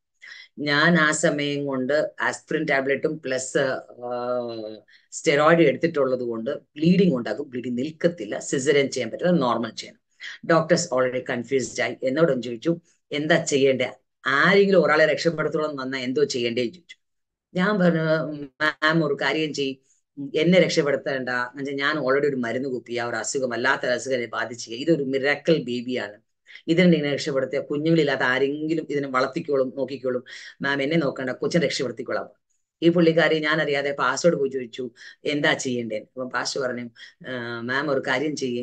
ഞാൻ കുഞ്ഞിനെ കണ്ടിട്ട് പോലും ഇല്ല. അതിന് കുഞ്ഞിനെ വേണമെന്നില്ല എനിക്ക്. എന്റെ വൈഫിനെ എനിക്ക് രക്ഷപ്പെടുത്തി തരുവാണെങ്കിൽ മറ്റ് എത്രയോ കുഞ്ഞുങ്ങൾ അവളിൽ നിന്ന് എനിക്ക് ഉണ്ടാകും. അതുകൊണ്ട് കുഞ്ഞിനെ കാണാത്ത കൊണ്ട് അവളെ കുഴപ്പമില്ല. രക്ഷ എന്റെ വൈഫ് രക്ഷപ്പെടുത്തി തരാൻ പറഞ്ഞു. ആത്മാവിലെ ഞരക്കവേ ദൈവം അണ്ടർലൈൻ ഇട്ടു. ഞാൻ പറഞ്ഞതും ദേവിദാസൻ പറഞ്ഞ ദൈവം അടിവറായിട്ടും പറഞ്ഞാൽ മതി. അത്ഭുതകരമായിട്ട് normal delivery saint John medical കോളേജിൽ നമ്മൾ ഡെലിവറി ലേബർ വാർഡിലോട്ട് പോയിട്ട് ആരെയും കയറ്റത്തില്ല അത്ഭുതം എന്റെ മമ്മി എന്റെ ചേച്ചി എന്റെ ലേബർ റൂമിൽ എന്റെ ഇടത്തും വലത്തും ഉണ്ടായിരുന്നു. നോർമൽ ഡെലിവറി അനുഗ്രഹിക്കപ്പെട്ട സുന്ദരിയായ ഒരു പെൺകുഞ്ഞിനെ ദൈവം എനിക്ക് തന്നു. ദൈവത്തിന് സ്തോത്രം സ്തോത്രം സ്തോത്രം. അത്ഭുതം അത്ഭുതം എന്ന് മാത്രം പറയാം അങ്ങനെ ആ കുഞ്ഞിന്റെ സാക്ഷി ഒരുപാടുണ്ട്. അത് ഞാൻ അങ്ങോട്ട് ഞാൻ കിടക്കുന്നില്ല. സ്തോത്രം. അങ്ങനെ ദൈവം അങ്ങനെ കുഞ്ഞിനെ തന്നെ. ഞാൻ പിന്നെ വീട്ടിൽ വന്നു. ഡിസ്ചാർജ് ആയി. ഞാൻ വിചാരിച്ചു എന്റെ പ്രതിസന്ധികളെല്ലാം ഏകദേശം ഏകദേശം എല്ലാം തീർന്നു. എല്ലാം ഒന്ന് ഒതുങ്ങി എന്ന് വിചാരിച്ചു. പക്ഷെങ്കിൽ പ്രശ്നങ്ങൾ ഇങ്ങനെ ഓരോന്നോരോന്നായി വന്നു. ഞാൻ ആറ് പ്രാവശ്യം ഇതുപോലെ ശരീരം അങ്ങനെ ഇരിക്കുമ്പോൾ പൊട്ടും. എവിടെയാ പൊട്ടുന്നതെന്നൊന്നും പറയാൻ പറ്റത്തില്ല. എവിടെയൊക്കെ ശരീരം പൊട്ടും ഇങ്ങനെ പൊട്ടി അന്നത്തെ പോലെ ഹോൾ ബോഡി അല്ല ശരീരം പൊട്ടും. അപ്പം ഭയങ്കര അസ്വസ്ഥയാണ് ഭയങ്കര വേദനയും ഭയങ്കര കാര്യങ്ങളാണ് മൊത്തം മുടി മൊത്തം പോയതാ പാസ്റ്റർ ഒരു- മുടി പോലും ഇല്ലാതെ പോയതായിരുന്നു എനിക്ക്. അങ്ങനെ ആറ് പ്രാവശ്യം ഏഴാമത്തെ പ്രാവശ്യം വന്നപ്പോഴത്തേന് ഞാൻ ദേശത്തിൽ ഒത്തിരി വിഷമം ഉണ്ടായിരിക്കും ആ ദൈവത്തോട് പ്രാർത്ഥിച്ചു കർത്താവേ ഇതിങ്ങനെ പോയാൽ പറ്റത്തില്ലല്ലോ. ദൈവം നീ എന്തെങ്കിലും അത്ഭുതം ചെയ്തേ പറ്റൂ. ആറ് കഷ്ടത? ഏഴാം തിന്മ നിന്നെ തൊടുകയില്ല എന്ന വചനമുള്ള ദൈവനെ സഹായിക്കണമേ എന്ന് പ്രാർത്ഥിച്ചു. അതുപോലുള്ള പൊട്ടി അളിഞ്ഞ സംഭവം പിന്നെ ഉണ്ടായിട്ടില്ല. അശ്വസകനെ കണ്ടിരുന്നെങ്കിലും ആ ശരീരം പൊട്ടുന്ന പ്രതിസന്ധി അതോടുകൂടി അവിടെ നിന്നു. അവിടെ ദൈവം ബ്രേക്ക് കിട്ടുന്നു എനിക്ക് മാത്രം പറയാൻ പറ്റത്തുള്ളൂ. അങ്ങനെ മുമ്പോട്ട് പോകവേ ടൂ തൗസൻഡ് ഫോറിൽ ടൂ തൗസൻഡ് ഹെവി ആയിട്ട് എനിക്ക് അസ്ഥിക്ക് വേദന. ഭയങ്കര അസ്ഥിക്ക് വേദന. ഞാൻ കീമോ പിന്നെ സ്റ്റാർട്ട് ചെയ്തായിരുന്നു ഡോക്ടേഴ്സ് ഡെലിവറി എല്ലാം കഴിഞ്ഞിട്ട് കീമോ സ്റ്റാർട്ട് ചെയ്തു. സ്റ്റിറോയിഡ്സും പിന്നെ പിന്നെ അടുത്ത ഡോസ് എനിക്ക് നോർമൽ ഡോസ് എനിക്ക് തരാൻ തുടങ്ങി. ഹെവി പെയിൻ ആയി എനിക്ക് ടൂ തൗസൻഡ് ഫോറിൽ ഭയങ്കര അശ്വസം നടക്കാനും ഇരിക്കാനൊന്നും ഒരു രക്ഷയില്ല. അപ്പം ഏകദേശം പതിമൂന്ന് ദിവസം ട്വന്റി ഫോർ ബാർസ് വരെ എനിക്ക് പെയിൻ ഒരു രക്ഷയില്ല. ബെഡ്ഷീറ്റ് ഒക്കെ ആ കയ്യിലും കാലിലും ചുറ്റുന്നേ ഞാൻ വേദന സഹിക്കാൻ വയ്യാഞ്ഞിട്ട്. അത് തന്നെ എന്റെ സിസ്റ്ററിലോ ഉണ്ട്. അവൾ പി ഡി സി പഠിക്കും ഞങ്ങളുടെ കൂടെ പ്ലസ് ടു പഠിച്ചത്. അവളെ കൊണ്ട് നല്ലപോലെ ഇങ്ങനെ പ്രസ് ചെയ്യിപ്പിക്കും. ബോഡിയെല്ലാം എപ്പോഴും അവളുടെ പണി. ഒരു രക്ഷയില്ല വേദന. കുറവില്ല പ്രൂഫിൻ ടാബ്ലറ്റ്സ് ഫോർ ഹൺഡ്രഡ് രണ്ടെണ്ണം ഒരുമിച്ച് കഴിക്കുക വേദന ഒരു രക്ഷയില്ല. ഡൈക്ലോഫിനൊക്കെ ഇഞ്ചക്ഷൻസ് ഞാൻ തന്നെ സ്വന്തമായിട്ട് എനിക്ക് എടുത്തരല്ല സ്വന്തമായിട്ട് ബട്ടക്സിൽ ഞാൻ തന്നെ എടുക്കും. ഒരു വേദന പതിമൂന്ന് ദിവസം രാ പകലില്ലാതെ വേദന. കൊച്ചന്റെ അടുക്ക എന്റെ അടുക്ക വരത്തില്ല എന്റെ വേദനയും. ഞാൻ ഞാൻ കിടക്കുന്ന കട്ടിൽ വരെ ഞാൻ പൊക്കും. അതുപോലെ വേദന സഹിക്കാൻ പറ്റുന്നില്ല. പതിമൂന്നാം ദിവസം രാത്രി ഞാൻ എന്റെ മനസ്സ് വിചാരിച്ചു കർത്താവേ മതി. ഇനി ഇനി എത്ര ദിവസമാണ് ഇങ്ങനെ ഈ ശരീരം ഇങ്ങനെ വലിച്ചുകൊണ്ട് നടക്കുന്നേ? ഒത്തിരി കൂടെ ഉള്ളവരും സഹികെട്ടുകയാണ് അവർക്കൊരു നല്ല ജീവിതം വേണ്ടേ? അതുകൊണ്ട് മതി ഇത് ഈ ഇതിന്റെ ഇടയിൽ കുഞ്ഞുങ്ങൾ ഉണ്ടാകത്തില്ലെന്ന് പറഞ്ഞു കുഞ്ഞുങ്ങളുണ്ടായി ജീവൻ തിരിച്ചു തന്നു. ചെറിയ ചെറിയ ദിവസങ്ങളെ നല്ലൊരു ഫാമിലി ലൈഫ് ജീവിക്കാൻ എന്നെ സഹായിച്ചു. മതി ഇതിന്റെ ഇടയിൽ ചില ആത്മാക്കളെ ഞാൻ പ്രാർത്ഥിച്ചുകൊണ്ടിരിക്കുമ്പോൾ തന്നെ വരികയും രക്ഷപ്പെടുത്തുകയൊക്കെ ചെയ്ത്. അങ്ങനെ ചെറിയൊരു സാറ്റിസ്ഫാക്ഷൻ എനിക്കുണ്ട് ഞാൻ എടുത്തോളനെ അന്ന് പതിമൂന്നാം തീയതി രാത്രി ഞാൻ ഇങ്ങനെ പാസ്റ്റോടും മോളോടും പറഞ്ഞു നിങ്ങൾ പോയി കിടന്നോ എനിക്ക് ഇത്ര ആശ്വാസമുണ്ട്. അവർ പറഞ്ഞു ഇത്രയും പെട്ടെന്ന് ഈ വേദന ഉണ്ടായിരുന്നു സഡൻ ബ്രേക്ക് ഇട്ട് അങ്ങനെ നടക്കില്ല കുഴപ്പമൊന്നുമില്ല വേദന ഞാൻ വേദന ഭയങ്കരമായിട്ടിരിക്കാം അവരോട് പറഞ്ഞു അവർ റൂമിൽ പോയി കിടന്നു ഞാൻ മാത്രം റൂമിൽ ഇങ്ങനെ കിടക്കും. പെട്ടെന്ന് ദൈവാത്മാവിനോട് ലെമന്റേഷൻസ് ചാപ്റ്റർ ത്രീ വിലാപകൾ മൂന്നാധ്യായം വായിക്കാൻ പറഞ്ഞു ഞാൻ എടുത്ത് വായിച്ചപ്പോൾ ഞാൻ അന്നേരം അനുഭവിക്കുന്ന എന്റെ എന്റെ ലൈഫ് ഹിസ്റ്ററി മൊത്തം ഉണ്ടാത്ത് ഞാൻ അനുഭവിക്കുന്ന വേദനകളെല്ലാം ഉണ്ടാത്ത എഴുതിയിട്ടുണ്ട്. ഞാൻ വായിച്ച് വായിച്ച് വായിച്ച് ഞാൻ അങ്ങനെ തന്നെ ബൈബിളിൽ ഇങ്ങനെ തന്നെ ഉറങ്ങിപ്പോയി. എനിക്ക് കഴിഞ്ഞ പതിമൂന്ന് ദിവസം ഉറങ്ങാത്ത ഞാൻ അന്ന് രാത്രി സുഖമായിട്ട് ഉറങ്ങി. അന്ന് പ്രാർത്ഥിച്ച ഒരു സംഭവം ഉണ്ടായിരുന്നു. കർത്താവെ നേരം നീ എന്തെങ്കിലും ഒരു കാര്യം എനിക്ക് ചെയ്തിട്ടുണ്ടോ ഒന്നിങ്ങി നേരം വെളുക്കുമ്പോ പിന്നെ ഇനി എന്റെ ജീവനോടെ ഞാൻ നിൽക്കണമെങ്കിൽ പൂർണ സൗഖ്യമുള്ള ഈ വേദന മറക്കാൻ മാത്രം എന്നെ സൗഖ്യമാക്കണം ഇല്ലെങ്കിൽ നിന്റെ അടുക്ക കാണുന്നു അങ്ങനെ ഞാൻ ഉറങ്ങി പിറ്റേ ദിവസം രാവിലെ പാസ്റ്റ് ബെഡ് കോഫി ആയിട്ട് വരുമ്പോഴാണ് ഞാൻ എഴുന്ന ഉണർന്നേ കുയു നീണ്ട പതിമൂന്ന് ദിവസം ഞാൻ സുഖമില്ലാതെ കിടന്നതല്ലേ എന്നൊരു ചിന്ത പോലും എനിക്ക് വരുന്നത് ആ പ്രതിസന്ധി സമയത്താണ് ദേവദാസൻ ഒരു പാട്ട് എഴുതിയതാ. നിനക്കറിയാത്ത വഴികളുണ്ട് എന്നുള്ളൊരു പാട്ട് നിനക്കറിയാത്ത വഴികൾ പറഞ്ഞൊരു പാട്ട്. ഫാസ്റ്റ് ചെയ്ത് ഞങ്ങളത് കന്നഡയിൽ ട്രാൻസ്ലേറ്റ് ചെയ്തു. ഞങ്ങളത് പാടി ആയിരുന്നു. അത് പാടി ആരാധിക്കാറുണ്ട്. അങ്ങനെ സന്ദർഭം. അങ്ങനെ ടൂ തൗസൻഡ് എയ്റ്റ് വരെ ഈ കീമോയും സ്റ്റീറോയിഡ്സ് ഒക്കെ ആയിട്ട് പോയി. ടൂ തൗസൻഡ് എയ്റ്റ് ആയപ്പോൾ ഞാൻ വിചാരിച്ചു ഒത്തിരി കഷ്ടപ്പാടായിരുന്നു. ഫസ്റ്റ് ടൈം ഒരുപാട് ലക്ഷക്കണക്കിന് പൈസ കടക്കാറായി ഞങ്ങൾ. എന്ന് പറഞ്ഞാൽ ഒരു മാസത്തിന് ട്വന്റി ഫൈവ് തൗസൻഡ് റുപ്പീസ് ഞങ്ങൾക്ക് വേണം. മരുന്നിന് മാത്രം വേണം. അപ്പം ഞാൻ ലാബ് ടെസ്റ്റിനും ഡോക്ടറിനെ ഡോക്ടറിനെ പോയി കാണാനും പ്ലസ് എന്റെ ഈ കീമോയ്ക്കും കൂടി. കന്നഡക്കാരുടെ ഇടയിലെ വേല എന്ന് പറഞ്ഞാൽ ഇങ്ങോട്ടില്ല അങ്ങോട്ടാ. അവർ സ്തോത്രാഴ്ച ഇടുവാണെങ്കിൽ ഒരു രൂപ ഇടും. പത്ത് രൂപ ഇട്ട ഭയങ്കര സംഭവം അത് ഇന്നും അങ്ങനെ അവരുടെ ഇടയിൽ അങ്ങനെ ഇരിക്കുമ്പം അവർ ദശാംശം പരിപാടി എന്നൊക്കെ ഒത്തിരി ചുരുക്കം പേരെ ആൾക്കാരുള്ള ദശാംശം നമ്മൾ അങ്ങോട്ട് അവരെ സഹായിക്കേണ്ട ഒരു കാലഘട്ടം. ഏകദേശം ഇരുപത്തയ്യായിരം രൂപ കടം ആയി. അപ്പം അല്ല പ്രതിമാസം വേണം. ലക്ഷക്കണക്കിന് പൈസ കടക്കാറായി ഞാൻ അപ്പൊ ഞാൻ വിചാരിച്ചു ഇതിങ്ങനെ മിനിസ്ട്രി ചെയ്ത് പുള്ളി കൊണ്ടുവരുന്ന കാശ് കൊണ്ട് മരുന്നിന് കൊടുക്കുന്നത് ശരിയല്ലല്ലോ. രണ്ടായിരത്തി എട്ടിൽ ഞാൻ തീരുമാനിച്ചു. അന്നൊരു കാര്യം ചെയ്ത് ദൈവത്തോട് പറഞ്ഞ കർത്താവെ ഞാൻ ഇവിടെ കീമോ നിർത്തുക ഞാൻ കീമോ ഞാൻ എടുക്കുന്നില്ല. ഡോക്ടറെ അടുത്ത് പോകുന്നില്ല. സ്റ്റെറോയിഡ്സ് പറഞ്ഞിരിക്കുന്ന അത്രയും ഡോസ് എടുക്കാതെ പകുതി ഡോസ് മാത്രമേ ഞാൻ എടുത്ത് ഒരു കാൽഷ്യം ടാബ്ലറ്റ് എടുത്ത് ഞാൻ മുമ്പോട്ട് നീങ്ങിക്കോളാം എന്ന് ഞാൻ വിചാരിച്ചു. അങ്ങനെ രണ്ടായിരത്തി എട്ടിൽ ഞാൻ ടാബ്ലറ്റ്സ് എല്ലാം നിർത്തി. അങ്ങനെ സ്റ്റെറോയിഡ്സും വൈസ്ലോൺ പ്ലസ് ഒരു കാൽഷ്യം ടാബ്ലറ്റ് മാത്രം എടുത്തു പോയി ഞാൻ. രണ്ടായിരത്തി പതിനഞ്ചിൽ എനിക്ക് മൈനർ ഹാർട്ട് അറ്റാക്ക് ഉണ്ടായി. ഡോക്ടേഴ്സ് രക്ഷപ്പെടുത്തില്ല എന്ന് പറഞ്ഞ ദൈവം അവിടുന്ന് എന്നെ രക്ഷിച്ചു. രണ്ടായിരത്തി പതിനാറിൽ പതിനേഴിലും എനിക്ക് ഫ്രാക്ചർ ഉണ്ടായി ഓസ്റ്റിയോപോറോസിസ് പറയുന്ന അസ്വസ്ഥത എന്ന് പറഞ്ഞാൽ അസ്ഥിയുടെ എന്താ പറയുക ബോൺസിന്റെ കട്ടി കുറയുക. നിരന്തരമായിട്ട് ഇങ്ങനെ സ്റ്റെറോയിഡ്സ് എടുക്കുന്നത് കൊണ്ട് എന്റെ കട്ടി കുറഞ്ഞോണ്ട് വരികയായിരുന്നു. അങ്ങനെ ഓസ്റ്റിയോപോറോസിസ് എന്നുള്ളതും അസുഖം വന്നിട്ട് എന്റെ രണ്ട് കാലും ലെഫ്റ്റും റൈറ്റ് ലെഗും രണ്ട് വർഷത്തിൽ എന്റെ ഫ്രാക്ചറായി ഡോക്ടേഴ്സ് പറഞ്ഞു ഇത് ഡെൻസിറ്റി ഇതിന്റെ ബോൺ തിക്നെസ് കുറവുള്ളത് കൊണ്ട് ഓപ്പറേഷൻ ചെയ്യാൻ ഒരു രക്ഷ അതൊന്നും പറ്റത്തില്ല. പ്ലാസ്റ്റർ പി ഒ പി ഇട്ട് നോക്കാം രക്ഷപ്പെടാണ്ട് അങ്ങനെ അത്ഭുതം എന്ന് പറഞ്ഞാൽ മതി. അത് അങ്ങനെ തന്നെ ഹീലായി ഞാൻ നേരത്തെ പറഞ്ഞ പോലെ ദൈവം അനുവദിക്കുന്ന കഷ്ടത എന്ന് പറഞ്ഞാൽ ആ പൂർണ ഉത്തരവാദിത്തം ദൈവമല്ല ഏറ്റെടുക്കുക. അങ്ങനെ രണ്ട് പ്രാവശ്യത്തെ ഫ്രാക്ചറിലും പൂർണ ഒരു ഓപ്പറേഷനും ചെയ്യാതെ അങ്ങനെ തന്നെ ഫുൾ ഹീലിംഗ് ദൈവം രണ്ടായിരത്തി പതിനേഴിലും പതിനെട്ടിലും ദൈവം എനിക്ക് അങ്ങനെ തന്നു. പിന്നെ പത്തൊൻപതിലാണ് എനിക്ക് അതിഭയങ്കരമായ വേദന എനിക്ക് ഉണ്ടായത്. ഞാൻ വിചാരിക്കുന്നത് എന്റെ ഞാൻ നേരത്തെ പറഞ്ഞല്ലോ ഈ ടാബ്ലറ്റ്സ് ഒന്നും എനിക്ക് അങ്ങനെ ബോഡി അക്സെപ്റ്റ് ചെയ്തില്ല. എനിക്ക് പെയിൻ കില്ലേഴ്സ് ആട്ടെ പാരസ്റ്റമോൾ ആട്ടെ ഒന്നും അങ്ങനെ ബോഡി എന്നെ അക്സെപ്റ്റ് ചെയ്യാത്ത സന്ദർഭങ്ങളായിരുന്നു. അങ്ങനെ ഞാൻ വിചാരിച്ചു ടൂ തൗസൻഡ് ഇലവനിൽ ഇതിന് പരിഹാരം ഞാൻ കണ്ടെത്തിയത് ഫാസ്റ്റിംഗ് എടുക്കുക. എന്ന് പറഞ്ഞാൽ ഉപവാസം ഞാൻ എടുക്കും. ഈ ട്വന്റി വൺ അങ്ങനെ വർഷത്തിൽ മൂന്ന് ഇരുപത്തൊന്നും ഒരു നാൽപ്പതും എടുക്കും. രാത്രി ഒരു നേരം കഴിച്ചോണ്ടാ. മരുന്ന് എടുക്കുന്നുണ്ടല്ലോ. അങ്ങനെ മൂന്ന് ഇരുപത്തൊന്ന്. ഈ ഫാസ്റ്റിംഗ് എടുക്കുമ്പോൾ എനിക്ക് വേദനയ്ക്ക് ശമനം ഉണ്ടാകും. ഒരു ടു ടു ത്രീ വീക്സ് ഒരു ആശ്വാസം ഉണ്ടാകും. പിന്നെയും വേദന ഉണ്ടാകും. പിന്നെ അടുത്ത ട്വന്റി വൺ എടുക്കും. പിന്നെ ഒരു മൂന്നാലാഴ്ചയാകും. പിന്നെ വേദന പിന്നെ ഒരു ഇരുപത്തൊന്ന് എടുക്കും. അങ്ങനെ ലാസ്റ്റിൽ ഞാൻ ഡിസംബർ തീർക്കുന്നത് ഞാൻ ഫോർട്ടി ഫാസ്റ്റിംഗ് എടുത്തിട്ട്. അങ്ങനെ ഒരു വർഷം അങ്ങനെ തീർത്ത് തീർത്ത് തീർത്ത് രണ്ടായിരത്തി പതിനൊന്ന് തൊട്ട് ഇങ്ങനെ ഞാൻ കാരണം എന്റെ ബോഡി ഈ മരുന്നൊന്നും അക്സെപ്റ്റ് ചെയ്യുന്നില്ല. എനിക്ക് ഇതില്ല വിടുതലില്ലായിരുന്നു. അങ്ങനെ ഇരിക്കുമ്പോൾ ടൂ തൗസൻഡ് നയന്റീനിൽ ഓഗസ്റ്റിൽ സിവിയർ പെയിൻ ഒരു രക്ഷയില്ല. ഒരു രക്ഷയില്ലാത്തൊരവസ്ഥ വന്നെനിക്ക് അപ്പം ഫാസ്റ്റിംഗ് എടുത്തു. അതെല്ലാം ഈ twenty one hundred twenty one എടുത്തു. പിന്നെ ഒരു ഫോർട്ടി എടുത്തു. ഫോർട്ടി എടുത്തിട്ട് ഞാൻ ഫുള്ള് കിടപ്പിലായി. ഒരു രക്ഷയില്ല. അസ്ഥിക്ക് ഒന്നും ചെയ്യാൻ പറ്റുന്നില്ല അങ്ങനെ ഞങ്ങൾ ഇവിടെ മെയിൻ ഒരു ഓർത്തോപെഡിക് ഹോസ്പിറ്റൽ ഉണ്ട്. മെയിൻ ഹോസ്പിറ്റൽ സഞ്ജയ് ഗാന്ധി എന്നുണ്ട് അങ്ങനെ അവിടെ പോയപ്പോൾ ഡോക്ടർ പറഞ്ഞു എം ആർ ഐ എടുക്കണം എന്ന് പറഞ്ഞു. എം ആർ ഐ എടുത്തു. എം ആർ ഐയിലെ മനസ്സിലാക്കുന്നത് എനിക്ക് എന്റെ നീ ജോയിന്റ് മുട്ട് ഹൺഡ്രഡ് പെർസെന്റ് ഓസ്റ്റിയോ ഓർത്രൈറ്റിസ് എന്ന് പറയും. അതിലെ ഫുൾ പൊടിഞ്ഞിട്ട് രണ്ട് എല്ലും തമ്മിൽ പൊടിഞ്ഞാൽ ഇനിയും രക്ഷ ഹൺഡ്രഡ് പെർസെന്റ് ലോസ് ആണ്. അത് റീപ്ലേസ് ചെയ്യണമെന്ന് പറഞ്ഞു. പിന്നെ എന്റെ രണ്ട് hip right hip seventy five പെർസെന്റും left Hippo fifty പെർസെന്റും ലോസ് ആയി എന്ന് പറഞ്ഞു. അത് എ വി എൻ എന്ന് പറയും. എ വാസ്കുലർ നെക്രോസിസ് എന്ന് പറയും. എന്ന് പറഞ്ഞാൽ അവിടുത്തെ ടിഷ്യൂസും എല്ലാം അവിടുത്തെ ഇതെല്ലാം സെൽസ് എല്ലാം എന്താ പറയാ ചത്ത് ഡെഡ് ആയി പോയി. പിന്നെ അതിൽ എം ആർ ഐ കാണിച്ചുകൊണ്ട് ഒരു കരി കരിക്കട്ട പോലെ കിടക്കും. പൊട്ടി പൊട്ടി പോകും അതുപോലൊരു അവസ്ഥയാണ്. ഡോക്ടർ പറഞ്ഞു ഇത് മൂന്ന് മാസത്തിനുള്ളിൽ ഇത് നിങ്ങൾ ക്ലിയർ ചെയ്യണം. ഇല്ലെങ്കിൽ ഇത് അധിക നാളിങ്ങനെ മുമ്പോട്ട് പോകത്തില്ല എന്നുള്ള ടൂ തൗസൻഡ് നയന്റീനിലെ എം ആർ ഐ നോക്കിയിട്ട് പറഞ്ഞു. അപ്പം എം ആ റിപ്പോർട്ട്സിന്റെ ലാസ്റ്റ് ഒറ്റ ലൈൻ ഇങ്ങനെ ഉണ്ട്. യുട്രസിൽ അഞ്ച് മുഴയുണ്ടെന്നുള്ള റിപ്പോർട്ട് അപ്പൊ ഞാൻ വിചാരിച്ചു എന്നൊരു കാര്യം ചെയ്യാം. ഒരു പെൽവിക്കും ഒരു അബ്ഡോമനും സ്കാൻ എടുക്കാമെന്ന് വിചാരിച്ചു. അങ്ങനെ രണ്ട് സ്കാനും എടുത്തു. രണ്ട് സ്കാനിലാണ് മനസ്സിലാകുന്നത് എനിക്ക് അമ്പിളിക്കൽ ഹേർണിയ തേർഡ് സ്റ്റേജ് ഉണ്ടെന്നും കിഡ്നിയിൽ അഞ്ച് സ്റ്റോൺ ഉണ്ടെന്നും യുട്രസിൽ അഞ്ച് മുഴയുണ്ടെന്നും അതിനെ എന്റെ ലിവർ എൻലാർജ് ആയിട്ട് ഹെപ്പറ്റോമെഗാലി എന്ന് പറയും എൻലാർജ് ആയിട്ടുണ്ടെന്നുള്ള റിപ്പോർട്ട് ഇതും കൂടി കണ്ടപ്പോഴത്തേ ഞാൻ ആകെ പ്രാവശ്യം ഞാൻ ഹോസ്പിറ്റലിൽ ഇരുന്ന് ഞാൻ റിപ്പോർട്ട് കണ്ടിട്ട് പറഞ്ഞു കർത്താവേ ഇനി അടുത്ത ഘട്ടത്തിലോട്ട് ഇന്ന് കയറുകയാണോ എന്താ ഇതിന്റെ ഒരു പോംവഴി എനിക്ക് മനസ്സിലാക്കുന്നില്ലല്ലോ കർത്താവേ എന്ന് ഭാരപ്പെട്ട സന്ദർഭം. ഡോക്ടർ കണ്ടിട്ട് പറഞ്ഞ ഒരു കാര്യം ചെയ്യും.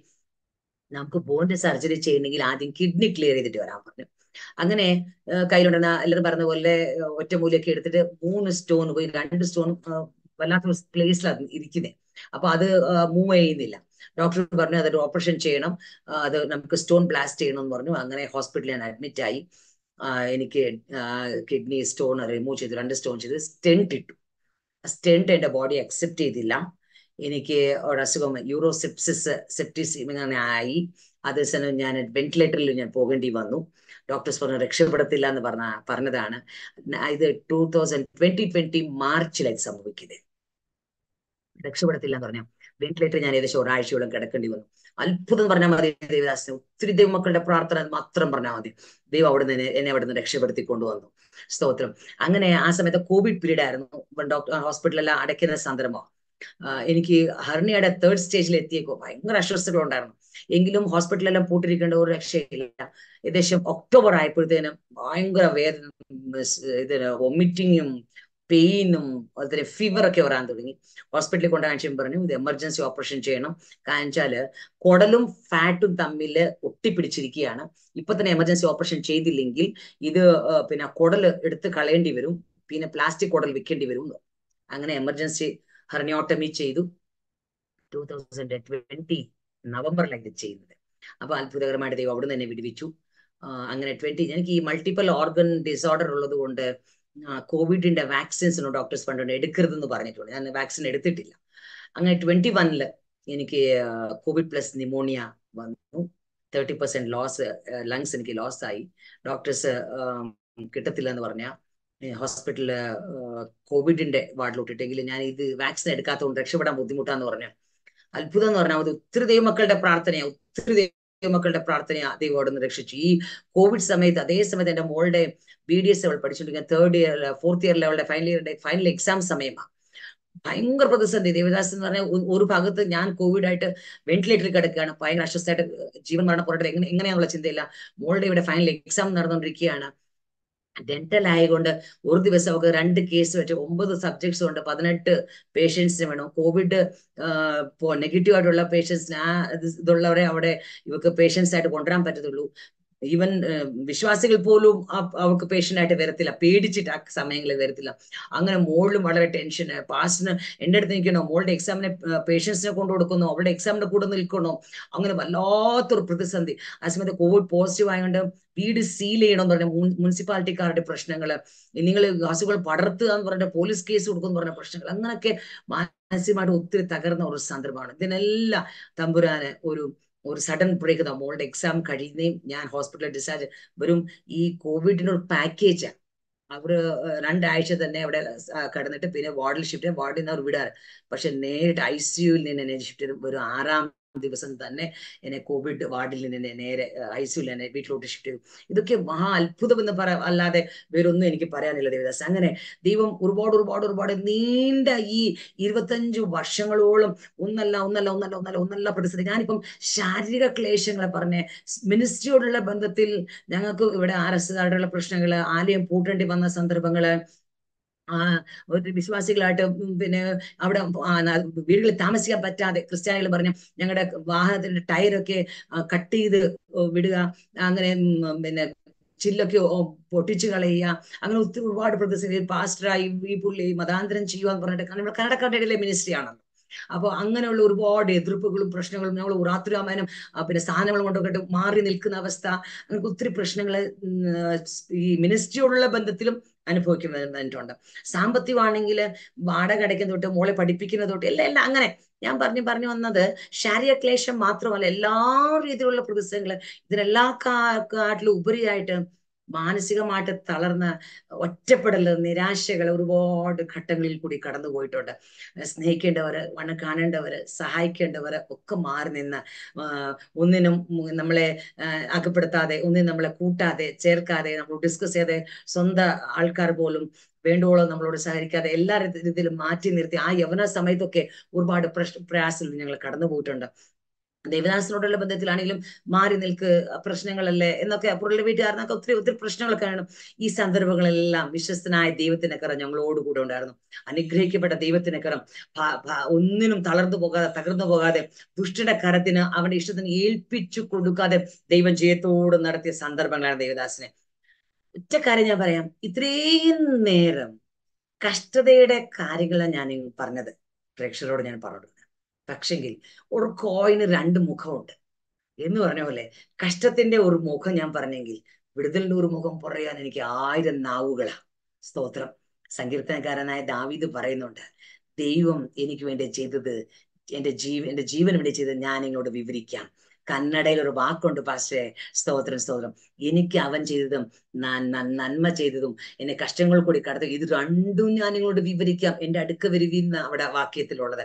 എന്ന് പറഞ്ഞ പോലെ ദൈവം എനിക്ക് ചിതപ്പെടുത്തിട്ടുള്ള ഒരുപാട് ഒരുപാടായിരുന്നു ദേവദാസിനെ. ഞാൻ പറഞ്ഞില്ലേ ആ മരണക്കിടക്കയിൽ നാല് വാക്തത്വം നിറവേറി എന്റെ ജീവിതത്തിലെ.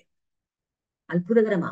ഒന്ന് ലൈഫ് എക്സ്റ്റൻഷൻ ഞാൻ എന്നോട് ഇത് പറഞ്ഞത് നയന്റി എയ്റ്റ് നവംബറിലാണ് ദേവദാസിനോട് നയന്റി എയ്റ്റ് നവംബർ പന്ത്രണ്ടാം തീയതി ദേവദാസിനോട് പറയുന്നത് ലൈഫ് എക്സ്റ്റൻഷൻ ഉണ്ടാകും. ഇന്ന് രണ്ടായിരത്തി ഇരുപത്തി മൂന്ന് കഴിഞ്ഞ് ഇരുപത്തിനാലോട്ട് നമ്മൾ കേട്ടിട്ടുണ്ട് ഇരുപത്തി അഞ്ച് വർഷം കഴിഞ്ഞു. എന്റെ ഇരുപത്തിനാലാമത്തെ വയസ്സിൽ ഇരുപത്തിനാല് മണിക്കൂരെ ജീവിക്കത്തുള്ളൂ എന്ന് പറഞ്ഞതിൽ ഇരുപത്തി അഞ്ച് വർഷം ഞാൻ കഴിഞ്ഞിട്ടുണ്ട്. ഇതാ നമ്മുടെ ദൈവം. അസാധ്യങ്ങളെ സാധ്യമാക്കുന്നവൻ. മനുഷ്യരുടെ കണക്കൂട്ടലിന് അപ്പുറമായിട്ട് വൈദ്യശാസ്ത്രം കഴിയത്തില്ല എന്ന് പറഞ്ഞ ഇടത്താണ് ദൈവം നേരിട്ട് ഇറങ്ങി വന്നതാ. സ്തോത്രം. ഇത് ബൈബിളിൽ ദൈവം എഴുതിയ അസാധ്യങ്ങളെ സാധ്യമാക്കാൻ ദൈവമെന്നും മനുഷ്യർ അസാധ്യ ദൈവത്തെ സാധ്യ ബൈബിളിൽ എഴുതിയിട്ടുണ്ടെങ്കിൽ അത് എന്റെ ജീവിതം ദൈവം ചെയ്തതാണ്. മരണക്കടയ്ക്ക് മാറ്റി എന്റെ ജീവനോടെ നിർത്തിയ ദൈവം ഇരുപത്തഞ്ചു വർഷം ജീവനോടെ ആയിരിക്കാൻ ദൈവനെ സഹായിച്ച അവനെ വിശ്വസ്തയ്ക്കായി സ്തോത്രം ചെയ്യും ദേവദാസനെ. രണ്ടാമത്തെ കാര്യം പറഞ്ഞതാ തലമുറ ദൈവം തരുമെന്ന് പറഞ്ഞല്ലോ. ഞാൻ പറഞ്ഞു ദൈവം എനിക്ക് പെൺകുഞ്ഞിനെ ദൈവം തന്നു. സ്തോത്രം. അവൾ ഇന്ന് ഡെന്റിസ്റ്റ് ആണ്. ഒരുപാടുണ്ട് അവളുടെ കാര്യം പറയാണ്ട് ഒറ്റ വാക്ക്. അവളെല്ലാ മിനിസ്ട്രിയിൽ ഞങ്ങൾക്ക് വളരെ റൈറ്റ് ഹാൻഡ് ആയിട്ട് എല്ലാ കാര്യങ്ങളും ഞങ്ങളെ സഹായിക്കുകയും ഒക്കെ നിൽക്കുന്നു. അങ്ങനെ ദൈവം ഇത് പറഞ്ഞല്ലോ. ഇല്ലാത്തതിനെ ഉള്ളതുപോലെ വിളിച്ചു വരുത്താൻ ദൈവം അപ്പോസ്തായ പൗലോസ് പറഞ്ഞു. എന്റെ എന്റെ യുട്രസിന് പറ്റത്തില്ല. ഒരു ഒരു ഒരു കുഞ്ഞിനെ ഉരുവാക്കാനും ഇല്ല അവിടെ അതൊരു ഒരു ഒരു ഒരു കുഞ്ഞിനെ രൂപം തന്ന നടത്താൻ അത് തിരിഞ്ഞിരിക്കുക റിട്രോബോട്ടേണ്ട പക്ഷെങ്കിൽ ദൈവം എനിക്ക് വേണ്ടി അവിടെ ചെയ്തെന്ന് പറഞ്ഞാൽ ഇല്ലാത്തതിനെ ഉള്ളതുപോലെ വിളിച്ചു വരുത്തുന്ന ദൈവം ദൈവമാണെന്ന ഇതാ ഞാൻ പറയുന്നത്. എന്നെ കേൾക്കുന്ന ദൈവമക്കളോട് ഞാൻ പറയട്ടെ. ആരെങ്കിലും കേൾക്കുന്നുണ്ടെങ്കിൽ എനിക്ക് കഴിയത്തില്ല. എന്റെ എക്സാം ഇല്ലെങ്കിൽ എന്റെ ജോലി എന്റെ കുടുംബജീവിതം ഇല്ലെങ്കിൽ എന്റെ കുഞ്ഞുങ്ങളുടെ ഭാവി സാമ്പത്തികം ഇന്നെന്ന വിഷയത്തിൽ ഞാൻ മടക്കി വെച്ചു. ഞാൻ ഈ ഫയൽ എടുക്കു നോക്കുന്നില്ല. അധികാലം മുമ്പിൽ കൊണ്ടുപോകുന്നില്ല. അത് ഞാൻ ഇനി പിന്നെ എന്താ പറയാ ഞാൻ ലോക്കറിൽ വെച്ച് കഴിഞ്ഞു. ഇനി പറ്റത്തില്ലെന്ന് ആരെങ്കിലും ചിന്തിക്കണം. ഞാൻ ഒറ്റ വാക്കേണ്ട അനുഭവം ഞാൻ പറയാം. സ്തോത്രം. നമ്മുടെ ദൈവം ഓപ്ഷൻസ് ഉണ്ടാക്കുന്ന ദൈവമാണ്. ഇല്ലാതെ ഉള്ളതുപോലെ വിളിച്ചു വരുത്തുന്ന ദൈവം. സ്തോത്രം. പ്രാർത്ഥിച്ച മാത്രം മതി. വാക്ക് പറഞ്ഞിട്ടുണ്ടോ? ചെയ്യാമെന്നോ? നമ്മളോട് വാക്ക് പറഞ്ഞോ? നിശ്ചയമായിട്ട് നമുക്ക് ചെയ്തിരുന്ന ശക്തനായ ദൈവത്തെയാണ് നമ്മൾ സേവിച്ചുകൊണ്ടിരിക്കുന്നതെന്ന് പറയാം. അങ്ങനെ മൂന്നാമത്തെ കാര്യം വാക്തത്വം ചെയ്താണ്. നഷ്ടപ്പെട്ടത് മടക്കി തരുന്ന ദൈവനം.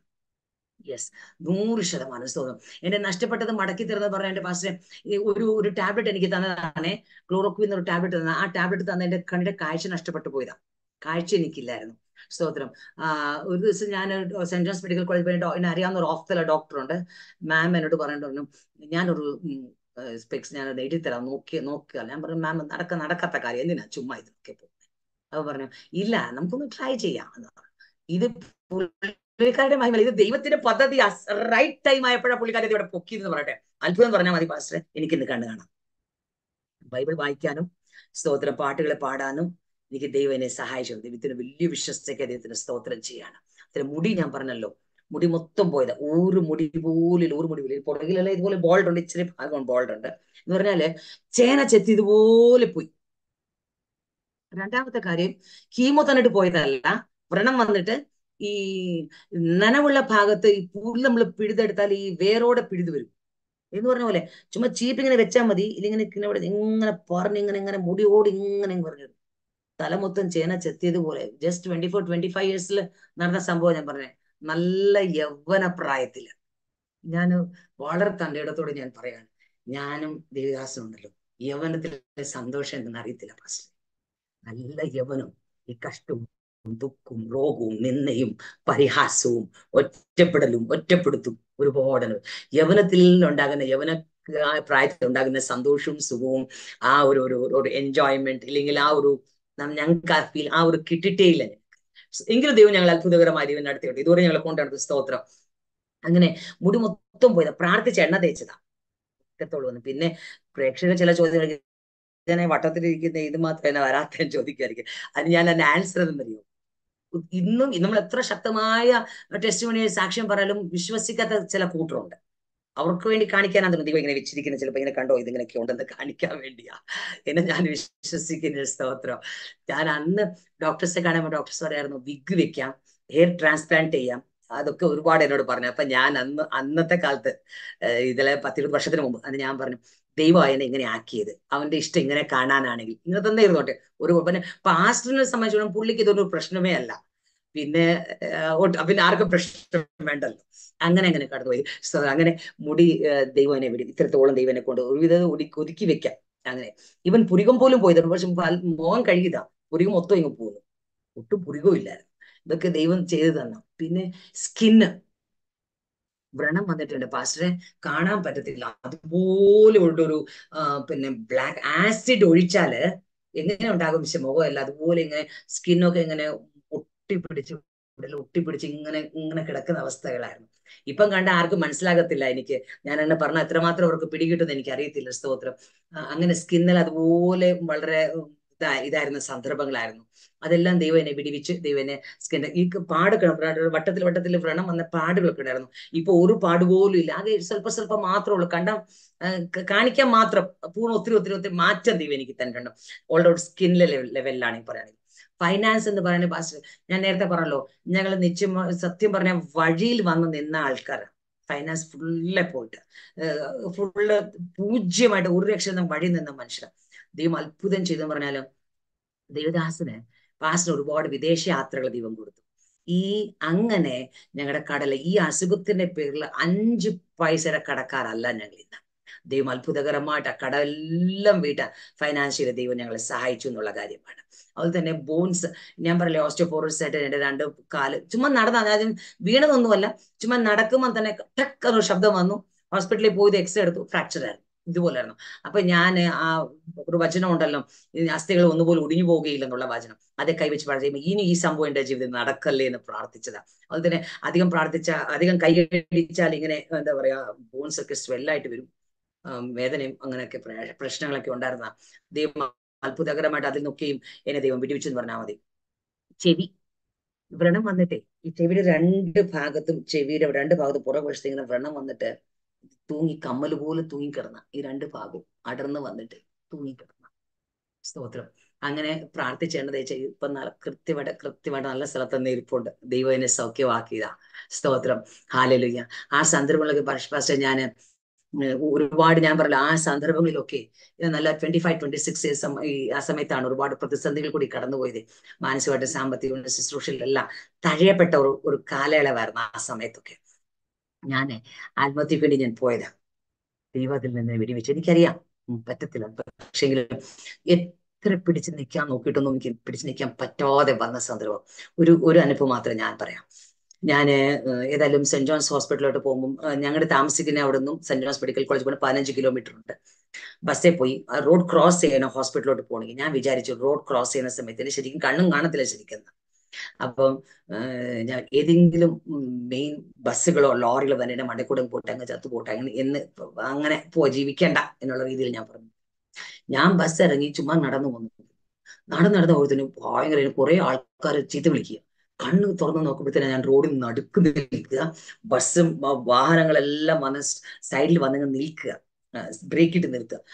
ആൾക്കാർ എന്താ മഞ്ഞിങ്ങനെ നിൽക്കുന്നത് എന്താ ചെയ്യുന്നത് പൊയ്ക്കോളാൻ പറഞ്ഞു അങ്ങനെ. അത്ഭുതകരമായിട്ട് ദൈവം ഞാൻ അവിടുന്ന് പിന്നെ അവിടെ ഒരു പ്രാർത്ഥിക്കാൻ ഒരു സ്ഥലമുണ്ട് സെന്റ് ജോൺസ് മെഡിക്കൽ കോളേജിൽ അങ്ങനെ ഇവരൊരു പ്രാവശ്യം ഞാൻ നരമ്പ് കട്ട് ചെയ്യാൻ പോയതാ. ജീവിക്കേണ്ട വേണ്ട. കാരണം പ്രതിസന്ധിയിൽ നിൽക്കാൻ കഴിയാതെ ഒരു രക്ഷയില്ലാതെ ഒന്നും ഒന്നും അവിടെ ഒരു എന്താ പറയാ നമ്മൾ ഈ ഇന്ന സ്ഥലത്തിൽ നിന്ന് ആശ്വാസം കിട്ടുന്ന ഇടത്തു നിന്നും കിട്ടാതെ ദൈവശബ്ദം കേൾക്കാതെ ഇങ്ങനെയൊക്കെ പോയ സന്ദർഭങ്ങളൊക്കെ ഞാൻ അന്നേരം ചിന്തിച്ചു പക്ഷെ ദൈവം അതിനൊന്നും എന്നെ വിട വിടാതെ വേണം ദൈവം തന്റെ അച്ചടകിൻ മറവിൽ എന്നെ മറച്ച് എന്നെ കൊണ്ടുവന്ന ദിവസങ്ങളായിരുന്നു മാത്രമേ എനിക്ക് പറയാൻ പറ്റത്തുള്ളൂ. അങ്ങനെ. പക്ഷെ അതുപോലെ തന്നെ എനിക്ക് ന്യൂമോണിയ വന്നപ്പോൾ ലങ്സിന്റെ പ്രശ്നം ഉണ്ടായിരുന്നല്ലോ. എനിക്ക് സംസാരിക്കാൻ കണ്ടിന്യൂഷൻ ആയിട്ട് സംസാരിക്കാൻ ഒരു പാട്ട് പാടാൻ ഉറക്ക ഒന്ന് പിന്നെ പ്രസംഗിക്കാനൊന്നും ശബ്ദം എടുക്കാൻ എനിക്ക് ലങ്സിന് ഭയങ്കര ബുദ്ധിമുട്ടായിരുന്നു. കഴിഞ്ഞ പിന്നെ ഒന്ന് ഒന്നൊന്നര വർഷമായി ദൈവനെ അത്ഭുതകരമായിട്ട് എന്നെ സൗഖ്യമാക്കി ശക്തമായി പ്രസംഗിക്കാനും ശബ്ദമെടുക്കാനും പാട്ടുകളെ പാടാനും നിരന്തരമായി സംസാരിക്കാനും ഒക്കെ ആ ലങ്സിനെ മേൽ ദൈവം ഒരു കൺട്രോൾ ദൈവം തന്നു. ദൈവത്തിന് സ്തോത്രം ചെയ്യുകയാണ്. അങ്ങനെ ദൈവം മടക്കി തരുന്ന ദൈവം എന്ന് പറഞ്ഞത് ആ ദൈവദാസൻ പറഞ്ഞത് നിശ്ചയമായിട്ടും ദൈവം എനിക്ക് എന്റെ ജീവിതത്തിൽ ഇതെല്ലാം ഞാൻ ഈ പറഞ്ഞ കാര്യങ്ങളെ ദൈവനെ മടക്കി തന്ന ദൈവമാണ്.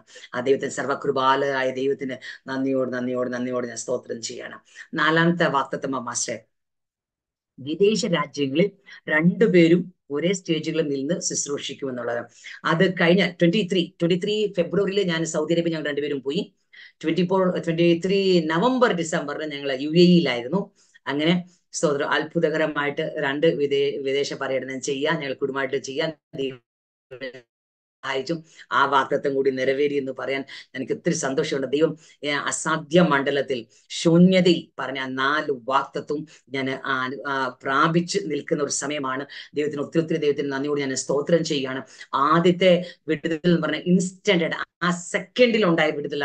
പിന്നെ എനിക്ക് ലാസ്റ്റ് എന്റെ വിടുതൽ എന്ന് പറഞ്ഞത് ഇരുപത്തി അഞ്ച് വർഷം എടുത്തു. നാലാമത്തെ വിടുതൽ ഉണ്ടാകും എന്നെ കേൾക്കും ദൈവം മക്കളെ ഒരു കാര്യം ഞാൻ പറയട്ടെ. വാക്തത്വം ദൈവം തന്നിട്ടുണ്ടെങ്കിൽ അത് നിവൃത്തിപ്പാൻ ശക്തനായ ദൈവമാണ്. അത് സ്തോത്രം. ചില വാക്തത്വങ്ങൾ ഇൻസ്റ്റന്റ് ആയിട്ട് ആ സെക്കൻഡിൽ ഉണ്ടാകും. ചിലത് ദിവസങ്ങൾ എടുക്കും. താഴ്മയോട് എബ്രാഹിം ലേഖനം പത്താം അധ്യായത്തിൽ നമ്മൾ വായിക്കുന്ന പോലെ സ്തോത്രം നമുക്ക് താ വാക്തത്വം പ്രാപിക്കാൻ നമുക്ക് താഴ്മ വേണം എന്നുള്ളതാണ്. അതുകൊണ്ട് താഴ്മയോടെ ഉണ്ടെങ്കിൽ പ്രാർത്ഥനയോടെ നമ്മൾ നമ്മൾ അത് നേരിടുവാണെങ്കിൽ നിശ്ചയമായിട്ട് ആ വാക്തത്വം പൂർത്തീകരിപ്പം ദൈവം വിശ്വസ്തനായ ദൈവമാണ്. സ്തോത്രം സ്തോത്രം. അങ്ങനെ ആ വിദേശ എന്നോട് ഇത്രയും വാക്തത്വം നിറവേറിലും ലാസ്റ്റ് വാക്തത്വം നിറവേറാതെ പലരും എന്നോട് പറഞ്ഞിട്ടുണ്ട്. ചുമ്മാതാ പിന്നെ സിസ്റ്റർ ഇങ്ങനെ സൂം മീറ്റിലൊക്കെ ഗൂഗിൾ മീറ്റിലൊക്കെ ഇങ്ങനെ പ്രസംഗം അപ്പം വിദേശത്തെ ആൾക്കാരെ കേൾക്കുന്നുണ്ടല്ലോ. ചിലപ്പോൾ അതായിരിക്കാം. വിദേശത്ത് പോകാൻ കാര്യങ്ങളൊന്നും നടക്കാൻ ചാൻസസ് ഇല്ല. കാരണം ഞാൻ ഞാൻ നേരത്തെ പറഞ്ഞല്ലോ എന്റെ ഹിപ്പ് ജോയിന്റും എന്റെ നീ ജോയിന്റ് എല്ലാം റീപ്ലേസ്മെന്റ് പറഞ്ഞിരിക്കുന്നത് ചെയ്തിട്ടില്ല. ഇങ്ങനെ നടക്കാനും പോകാനൊക്കെ ഇച്ചിരി ബുദ്ധിമുട്ടുണ്ട് എനിക്ക്. അപ്പം പെട്ടെന്ന് പെട്ടെന്ന് നടക്കാനൊന്നും എനിക്ക് പറ്റത്തില്ല. അപ്പൊ പലരും പറഞ്ഞ ഈ സൂം മീറ്റിംഗിലൊക്കെ വിദേശത്ത് കേൾക്കുന്ന കാര്യമായിരിക്കും വാക്തത്തിന് നിവർത്തി ചിലപ്പോൾ അവിടെ പോകാൻ ചാൻസ് ഇല്ലെന്ന് പലതും അങ്ങനെ പറയുമ്പോൾ എന്റെ മനസ്സിലെ ചിന്തയാണ് ഞാൻ പോകും ഞാൻ ചെയ്യും ഞാൻ ചെയ്തിരിക്കും.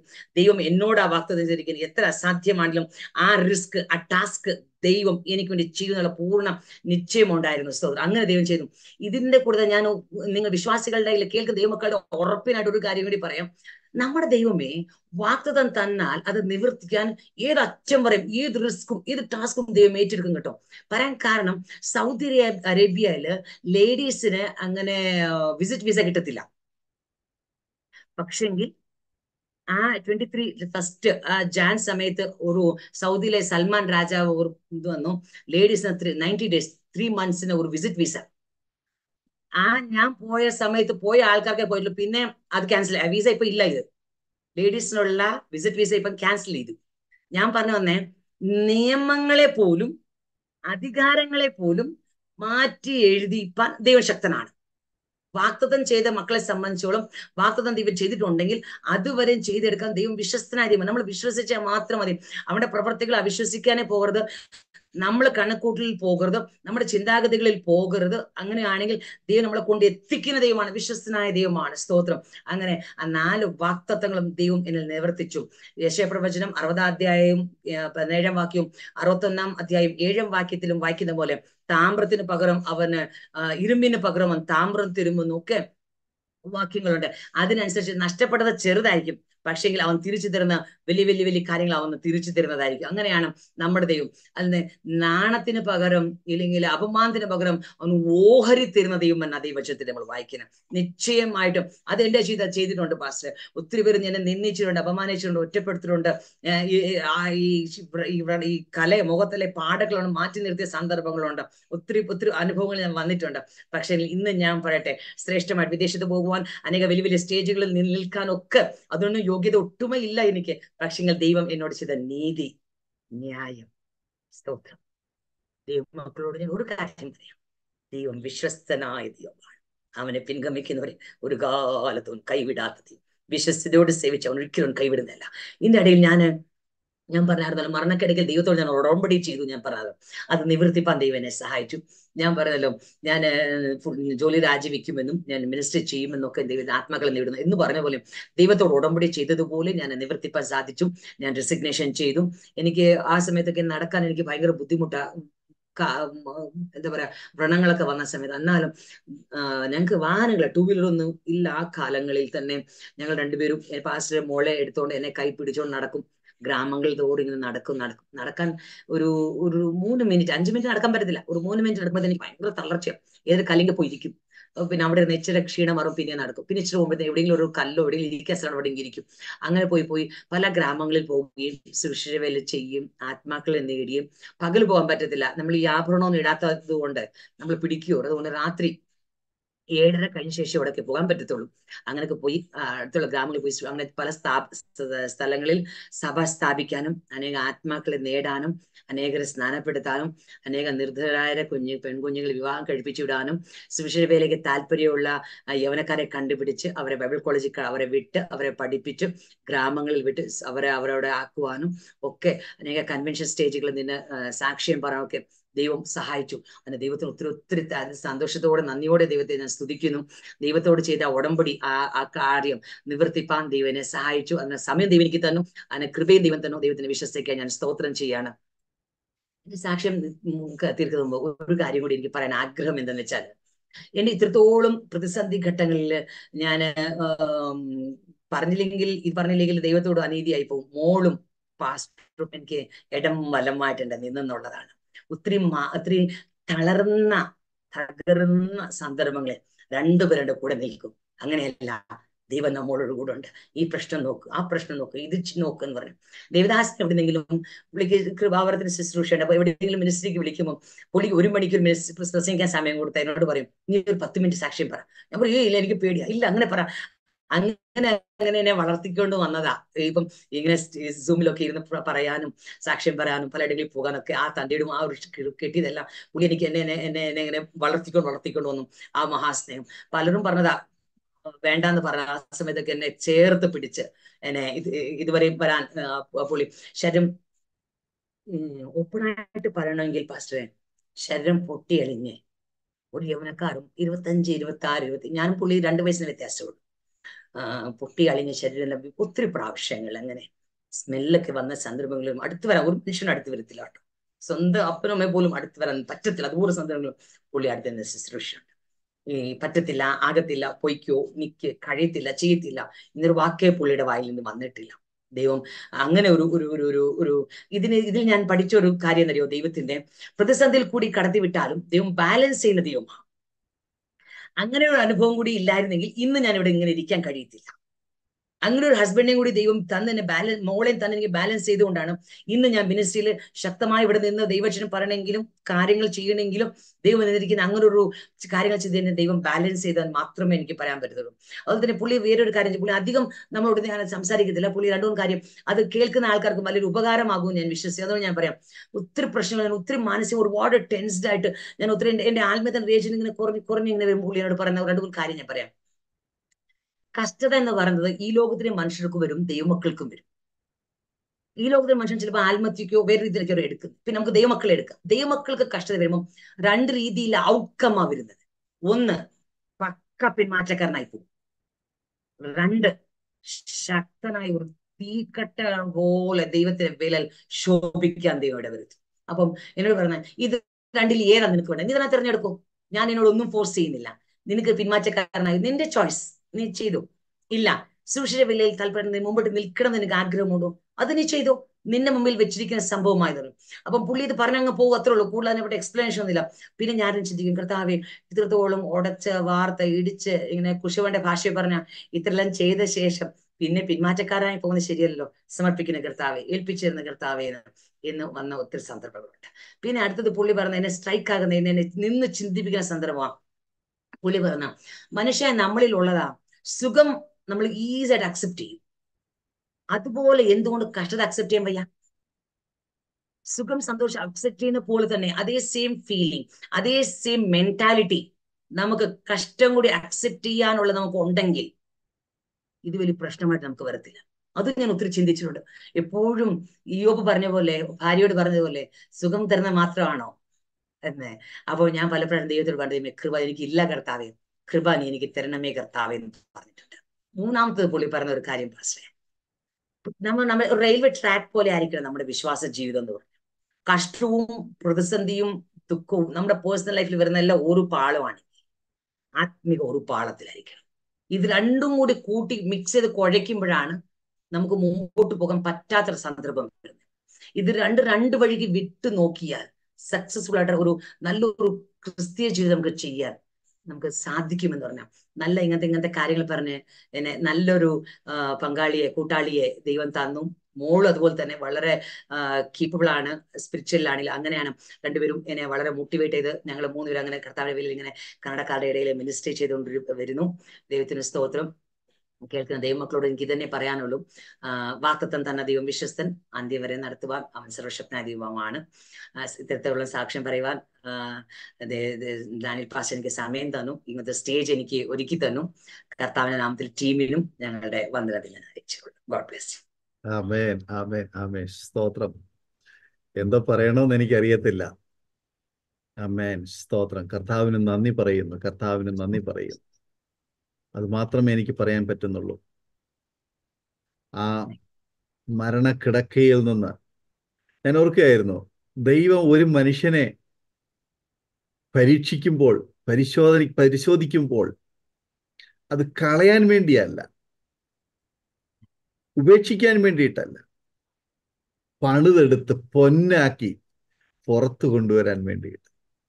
അതാണ് ദൈവത്തിന്റെ ഒന്നുകൂടി ആലോചിച്ച് നോക്കുക. ദൈവത്തിന്റെ പരീക്ഷണശാല ഒരു ലാബറട്ടറി പോലെ ഓരോ ഭാഗങ്ങളും തലമുടി മുതൽ പാദം വരെ പരിശോധിച്ച് പരിശോധിച്ച് പരിശോധിച്ച് പരിശോധിച്ച് ഓരോ ഭാഗങ്ങളും റീക്രിയേറ്റ് ചെയ്ത് കർത്താവിന്റെ നാമത്തിന്റെ ആ മഹത്തായ സാക്ഷ്യം പറയാൻ വേണ്ടി ദൈവം ഒരുക്കിയെടുത്ത ഒരു വ്യക്തി.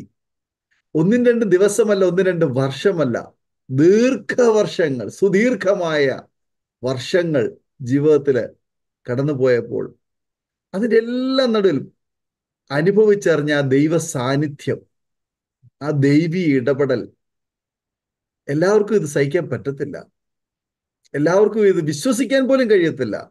അരോമറ്റീവിലെ പ്രേക്ഷകർ കേൾക്കുമ്പോൾ ഇത് എത്ര പേര് ഇത് വിശ്വസിക്കുമെന്ന് പോലും എനിക്കറിയത്തില്ല. കാരണം അത്രയ്ക്ക് അത്ഭുതകരമായ ജീവിതത്തിലെ അനുഭവങ്ങളാണ് കർത്താവിന്റെ ദാസി പങ്കുവച്ചത്. ഞാൻ ഇതുവരെ കേട്ടിട്ടില്ല ഇങ്ങനൊരു സാക്ഷ്യം. അത്ര അനുഗ്രഹിക്കപ്പെട്ട അനുഭവങ്ങളാണ് കർത്താവിന്റെ ദാസിയുടെ ജീവിതത്തിലെ ദൈവം ചെയ്തത്. ഞാൻ ഒരുപാട് പ്രിയപ്പെട്ടവരുടെ സാക്ഷ്യം കേൾക്കുന്ന വ്യക്തിയാണ്. പക്ഷെ ഇതുപോലൊരു സാക്ഷ്യം ഞാൻ ഇതുവരെ കേട്ടിട്ടില്ല. ഇത്രയ്ക്ക് ഹൃദയസ്പർശിയായ ദൈവിക ഇടപെടൽ അനുഭവിച്ച ജീവിക്കുന്ന ഒരു സാക്ഷ്യം കർത്താവിന് എത്ര നന്ദി പറഞ്ഞാലും മതി വരികയില്ല. സ്തോത്രം. ഒരു മിഷണറി വരി എന്റെ മകളായി ജനിച്ചു. സുവിശേഷ വേല ചെയ്യണ്ട എന്ന് ആഗ്രഹിച്ചു. ലോകപ്രകാരം ഒരു ജോലിയോടുകൂടി സുവിശേഷ വേല ചെയ്ത് ജീവിക്കാമെന്ന് വിചാരിച്ചു.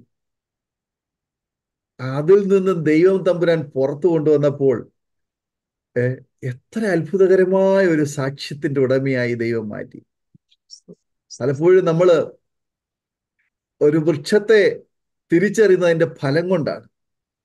നമ്മുടെ ഓരോരുത്തരുടെയും ജീവിതത്തിൽ ഒരു ഔട്ട്കം ഒരു പുറത്തു വന്നിരിക്കുന്ന ആ ഒരു ഫലം അതാണ് ആ വൃക്ഷത്തിന്റെ സാക്ഷ്യം എന്ന് പറയുന്നത്. വെറും വൃക്ഷമായിട്ട് നിന്നിട്ടാൽ അതിനൊരു സാക്ഷ്യമില്ല. ആ വൃക്ഷത്തിന്റെ ഫലമാണ് ആ വൃക്ഷത്തിന്റെ സാക്ഷ്യം പറയുന്നത്. അരോമ ടി വിയിലൂടെ കർത്താവിന്റെ ദാസി ഡോളി രാജന്റെ ഈ സാക്ഷ്യം അത് ലോകമെങ്ങുമുള്ള പ്രിയപ്പെട്ടവർക്ക് കർത്താവിനെ മഹത്വപ്പെടുത്തുവാനുള്ള ഒരു ഫലമായിട്ട് അത് പുറത്തു വരികയാണ്. യോബിന്റെ ജീവിതത്തിൽ ഒരു ചുരുങ്ങിയ കാലയളവിൽ ഉണ്ടായ ആ ഒരു ജീവിതാനുഭവത്തെ നോക്കിയിട്ട് യോബിനെ സ്വർഗത്തിലെ ദൈവം പറഞ്ഞത് യോബിനെ പോലെ നിഷ്കളങ്കൻ നേരുള്ളവൻ ദോഷം വിട്ടകലുന്നവൻ. ദൈവം പറഞ്ഞ ആ ഒരു സാക്ഷ്യം സ്തോത്രം. കർത്താവിന്റെ ദാസിക്ക് ആ മരണക്കിടക്കയിൽ ഒരു അഭിഷിക്തനെ ദൈവ ദൂതനെ പോലെ അവിടെ അയച്ച് നാല് വാഗ്ദത്തങ്ങൾ പറയുന്നു. ആ നാല് വാഗ്ദത്വവും അത് കർത്താവ് ചെയ്തു. ആ നാലാമത്തെ വാഗ്ദത്തമാണ് ഈ സാക്ഷ്യം എന്ന് ഞാൻ വിശ്വസിക്കുക. ഈ ചാനലിലൂടെ ആമേൻ അത് പുറത്തു വന്നിരിക്കുന്നത്. സ്തോത്രം സ്തോത്രം സ്തോത്രം. കർത്താവിന് എത്ര നന്ദി പറഞ്ഞാലും മതി വരികയും. അമേൻ ഒരു പരീക്ഷണശാലയിൽ ഒരു വസ്തു പരീക്ഷിക്കപ്പെട്ട് പരീക്ഷിക്കപ്പെട്ട് പരീക്ഷിക്കപ്പെട്ട് ഒരുപാട് പരീക്ഷണ നിരീക്ഷണങ്ങൾ കഴിഞ്ഞതിന് ശേഷമാണ് അതൊരു പ്രൊഡക്റ്റ് ആയിട്ട് മറ്റുള്ളവർക്ക് പ്രയോജനമുള്ള ഒരു ഉൽപ്പന്നമായിട്ട് പുറത്തു വരുന്നത്. ഒരു വ്യക്തിയെ കൊള്ളാകുന്നവനെന്ന് കണ്ട ശേഷം ദൈവം അവനെ പുറത്ത് ഉപയോഗിക്കുവാനിടയായി തീരും അനേകരുടെ വിടുതലിന് വേണ്ടി അനേകരുടെ വിടുതലിന് വേണ്ടി ആമേൻ. അനുഗ്രഹിക്കപ്പെട്ട ഈ സാക്ഷ്യം ഒരുപാട് പേരെ സ്വാധീനിക്കുവാനിടയായി തീരും ലക്ഷക്കണക്കിന് പ്രിയപ്പെട്ടവരെ അവരെ ബലപ്പെടുത്തുവാനിടയായി തീരും ധാരാളം ആളുകളെ ജീവിക്കുവാൻ പ്രേരിപ്പിക്കും. ഒരുപാട് പ്രിയപ്പെട്ടവരെ കർത്താവിന് വേണ്ടി നിലകൊള്ളുവാൻ അവരെ ശക്തീകരിക്കും എന്നുള്ള കാര്യത്തിന് യാതൊരു സംശയവുമില്ല. കർത്താവിന്റെ ദാസി അടയ്ക്കോ അവസാനം ഓർപ്പിച്ചു. ഇങ്ങനെയുള്ള സന്ദർഭങ്ങൾ പലരും ചെയ്യുന്ന ഒരു കാര്യം ദേവദാസൻ പറഞ്ഞ ആലോചനയാണ്. ഒന്നുകിൽ അവർ ആത്മഹത്യ ചെയ്യും അല്ലെങ്കിൽ പിന്മാറ്റത്തിലേക്ക് പോകും അല്ലെങ്കിൽ കർത്താവിന് വേണ്ടി ശോഭിക്കും. സ്തോത്രം. നമ്മുടെയൊക്കെ ജീവിതത്തിൽ പലപ്പോഴും നമ്മൾ ചിന്തിക്കുന്ന ഒരു കാര്യമുണ്ട് ഇത്രയൊക്കെ കഷ്ടത വന്നു ദൈവം എന്നോട് സംസാരിച്ചില്ലല്ലോ ദൈവം എന്നോട് ഇടപെട്ടില്ലല്ലോ. ചിലപ്പോൾ നമ്മളോടല്ല കർത്താവ് സംസാരിക്കുന്നത്. സിംഹങ്ങളോടായിരിക്കും ദൈവം സംസാരിക്കുന്നത്. സ്തോത്രം. ദാനിയലിനെ സിംഹക്കുഴിയിലിട്ടപ്പോൾ ദാനിയലിനോടല്ല ദൈവം സംസാരിച്ചത്. സിംഹത്തോടാണ് ദൈവം സംസാരിച്ചത്. പ്രിയമുള്ളവരെ തിരിച്ചറിയൂ. തിരിച്ചറിയൂ. ഒരു പക്ഷെങ്കിൽ ദൈവം നിങ്ങളോട് സംസാരിച്ചത് നിങ്ങൾ കേട്ടില്ലായിരിക്കാം മനസ്സിലാക്കിയില്ലായിരിക്കാം. പക്ഷെ സിംഹത്തോട് സംസാരിച്ച് നിങ്ങൾക്ക് വേണ്ടി ദൈവം ഒരു പുതിയ വഴി തുറക്കുമ്പോൾ ജീവിക്കാനുള്ളൊരു സാക്ഷ്യം പറയാനുള്ളൊരു വേദിയായി നിങ്ങളുടെ ജീവിതം നിങ്ങളുടെ അവസരങ്ങൾ ദൈവം മാറ്റുമ്പോൾ തിരിച്ചറിയൂ? ദൈവത്തിന്റെ മഹത്വം കൊടുക്കുവാൻ ലഭിക്കുന്ന സമയങ്ങളൊക്കെ ദൈവം നമ്മ മഹത്വത്തിന് വേണ്ടി ഉപയോഗിക്കാം എന്നുള്ളൊരു തീരുമാനമെടുക്കും. അനുഗ്രഹിക്കപ്പെട്ട ഈ സാക്ഷ്യം അരോമ ടി വിയിൽ ഓരോ പ്രിയപ്പെട്ടവർക്കും നിങ്ങളെ ചലിപ്പിക്കുമെന്നുള്ള കാര്യത്തിന് യാതൊരു സംശയവുമില്ല. നിങ്ങൾ ഇരിക്കുന്നിടത്ത് നിങ്ങൾ ആയിരിക്കുന്നിടത്ത് നിങ്ങളെ ഇത് സ്പർശിച്ചു എന്നുള്ള കാര്യത്തിന് യാതൊരു സംശയവുമില്ല. അതുകൊണ്ട് തന്നെ നിങ്ങളുടെ ജീവിതം ഒരു നിമിഷം കർത്താവിന് പണിയുവാൻ വേണ്ടി ഏൽപ്പിച്ചു കൊടുക്കൂ. ശിരസ് മുതൽ നഖം വരെ പാദം വരെ ആമേൻ ഒരുപോലെ പൊട്ടിയളിഞ്ഞ് ഏ ഇനി ജീവിക്കില്ല. എച്ച് ഐ വി രോഗിയാണെന്നും വിവിധ വിവിധ വിധത്തിലുള്ള റിപ്പോർട്ടുകൾ വന്നും കീമോതെറാപ്പികളും റേഡിയേഷനുകളും സ്റ്റിറോയിഡുകളും ഒക്കെ ഉപയോഗിച്ച് ഒരുപാട് ചികിത്സയ്ക്ക് വിധേയമായെങ്കിലും അതിൽ നിന്നൊക്കെ പുറത്തു വന്നു. ഇനി നിനക്ക് തലമുറ ഉണ്ടാകത്തില്ല. മക് ഒരു കുടുംബജീവിതമില്ല. സുഹൃത്തിനെ പോലെ ഭാര്യ ഭർത്താക്കന്മാർ ജീവിക്കണം എന്നൊക്കെ പറഞ്ഞ് ഡോക്ടർമാർ വൈദ്യശാസ്ത്രം പറഞ്ഞപ്പോൾ ആ സ്ഥാനത്ത് അനുഗ്രഹിക്കപ്പെട്ട ഒരു കുഞ്ഞ് ഒരു മകൾ ഡെൻ ഇന്ന് അവൾ ഡെന്റൽ ഡോക്ടറാണ്. ഏ? ആ നിലയിലൊക്കെ അഭിമാനകരമായ നിലയിൽ അനുഗ്രഹിക്കപ്പെട്ട ശുശ്രൂഷ ചെയ്യുന്ന ഒരു കുടുംബം. ആ കുടുംബത്തെ കർത്താവ് അനുഗ്രഹിക്കട്ടെ ശക്തമായി വീണ്ടും ഉപയോഗിക്കട്ടെ എന്ന് ഞങ്ങൾ ആഗ്രഹിക്കുന്നു പ്രാർത്ഥിക്കുന്നു. സ്തോത്രം. ദൈവസന്നിധിയിൽ സകല മഹത്വവും ദൈവത്തിന് കൊടുക്കാം.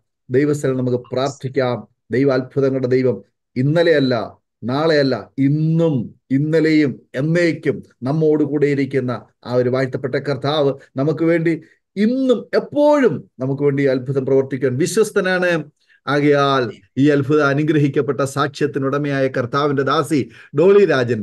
തുടർന്ന് ആമേനെ അരോമ ടി വിയിലെ പ്രേക്ഷകർക്ക് വേണ്ടി ഒരു നിമിഷം പ്രാർത്ഥിക്കുവാൻ തക്ക ഒടിയായിത്തീരും തന്റെ തലയിലെ ആ പാട് മുടിയില്ലാതിരിക്കുന്ന ഭാഗം ഒരുപക്ഷെങ്കിൽ ആമേൻ. അത് ഈ വിഷയങ്ങൾ പറഞ്ഞതിന് ഒരു അടയാളമായിട്ട് ദൈവം വെച്ചിരിക്കുന്നത് കർത്താവിൻ ദാസി ഓർപ്പിച്ചല്ലോ.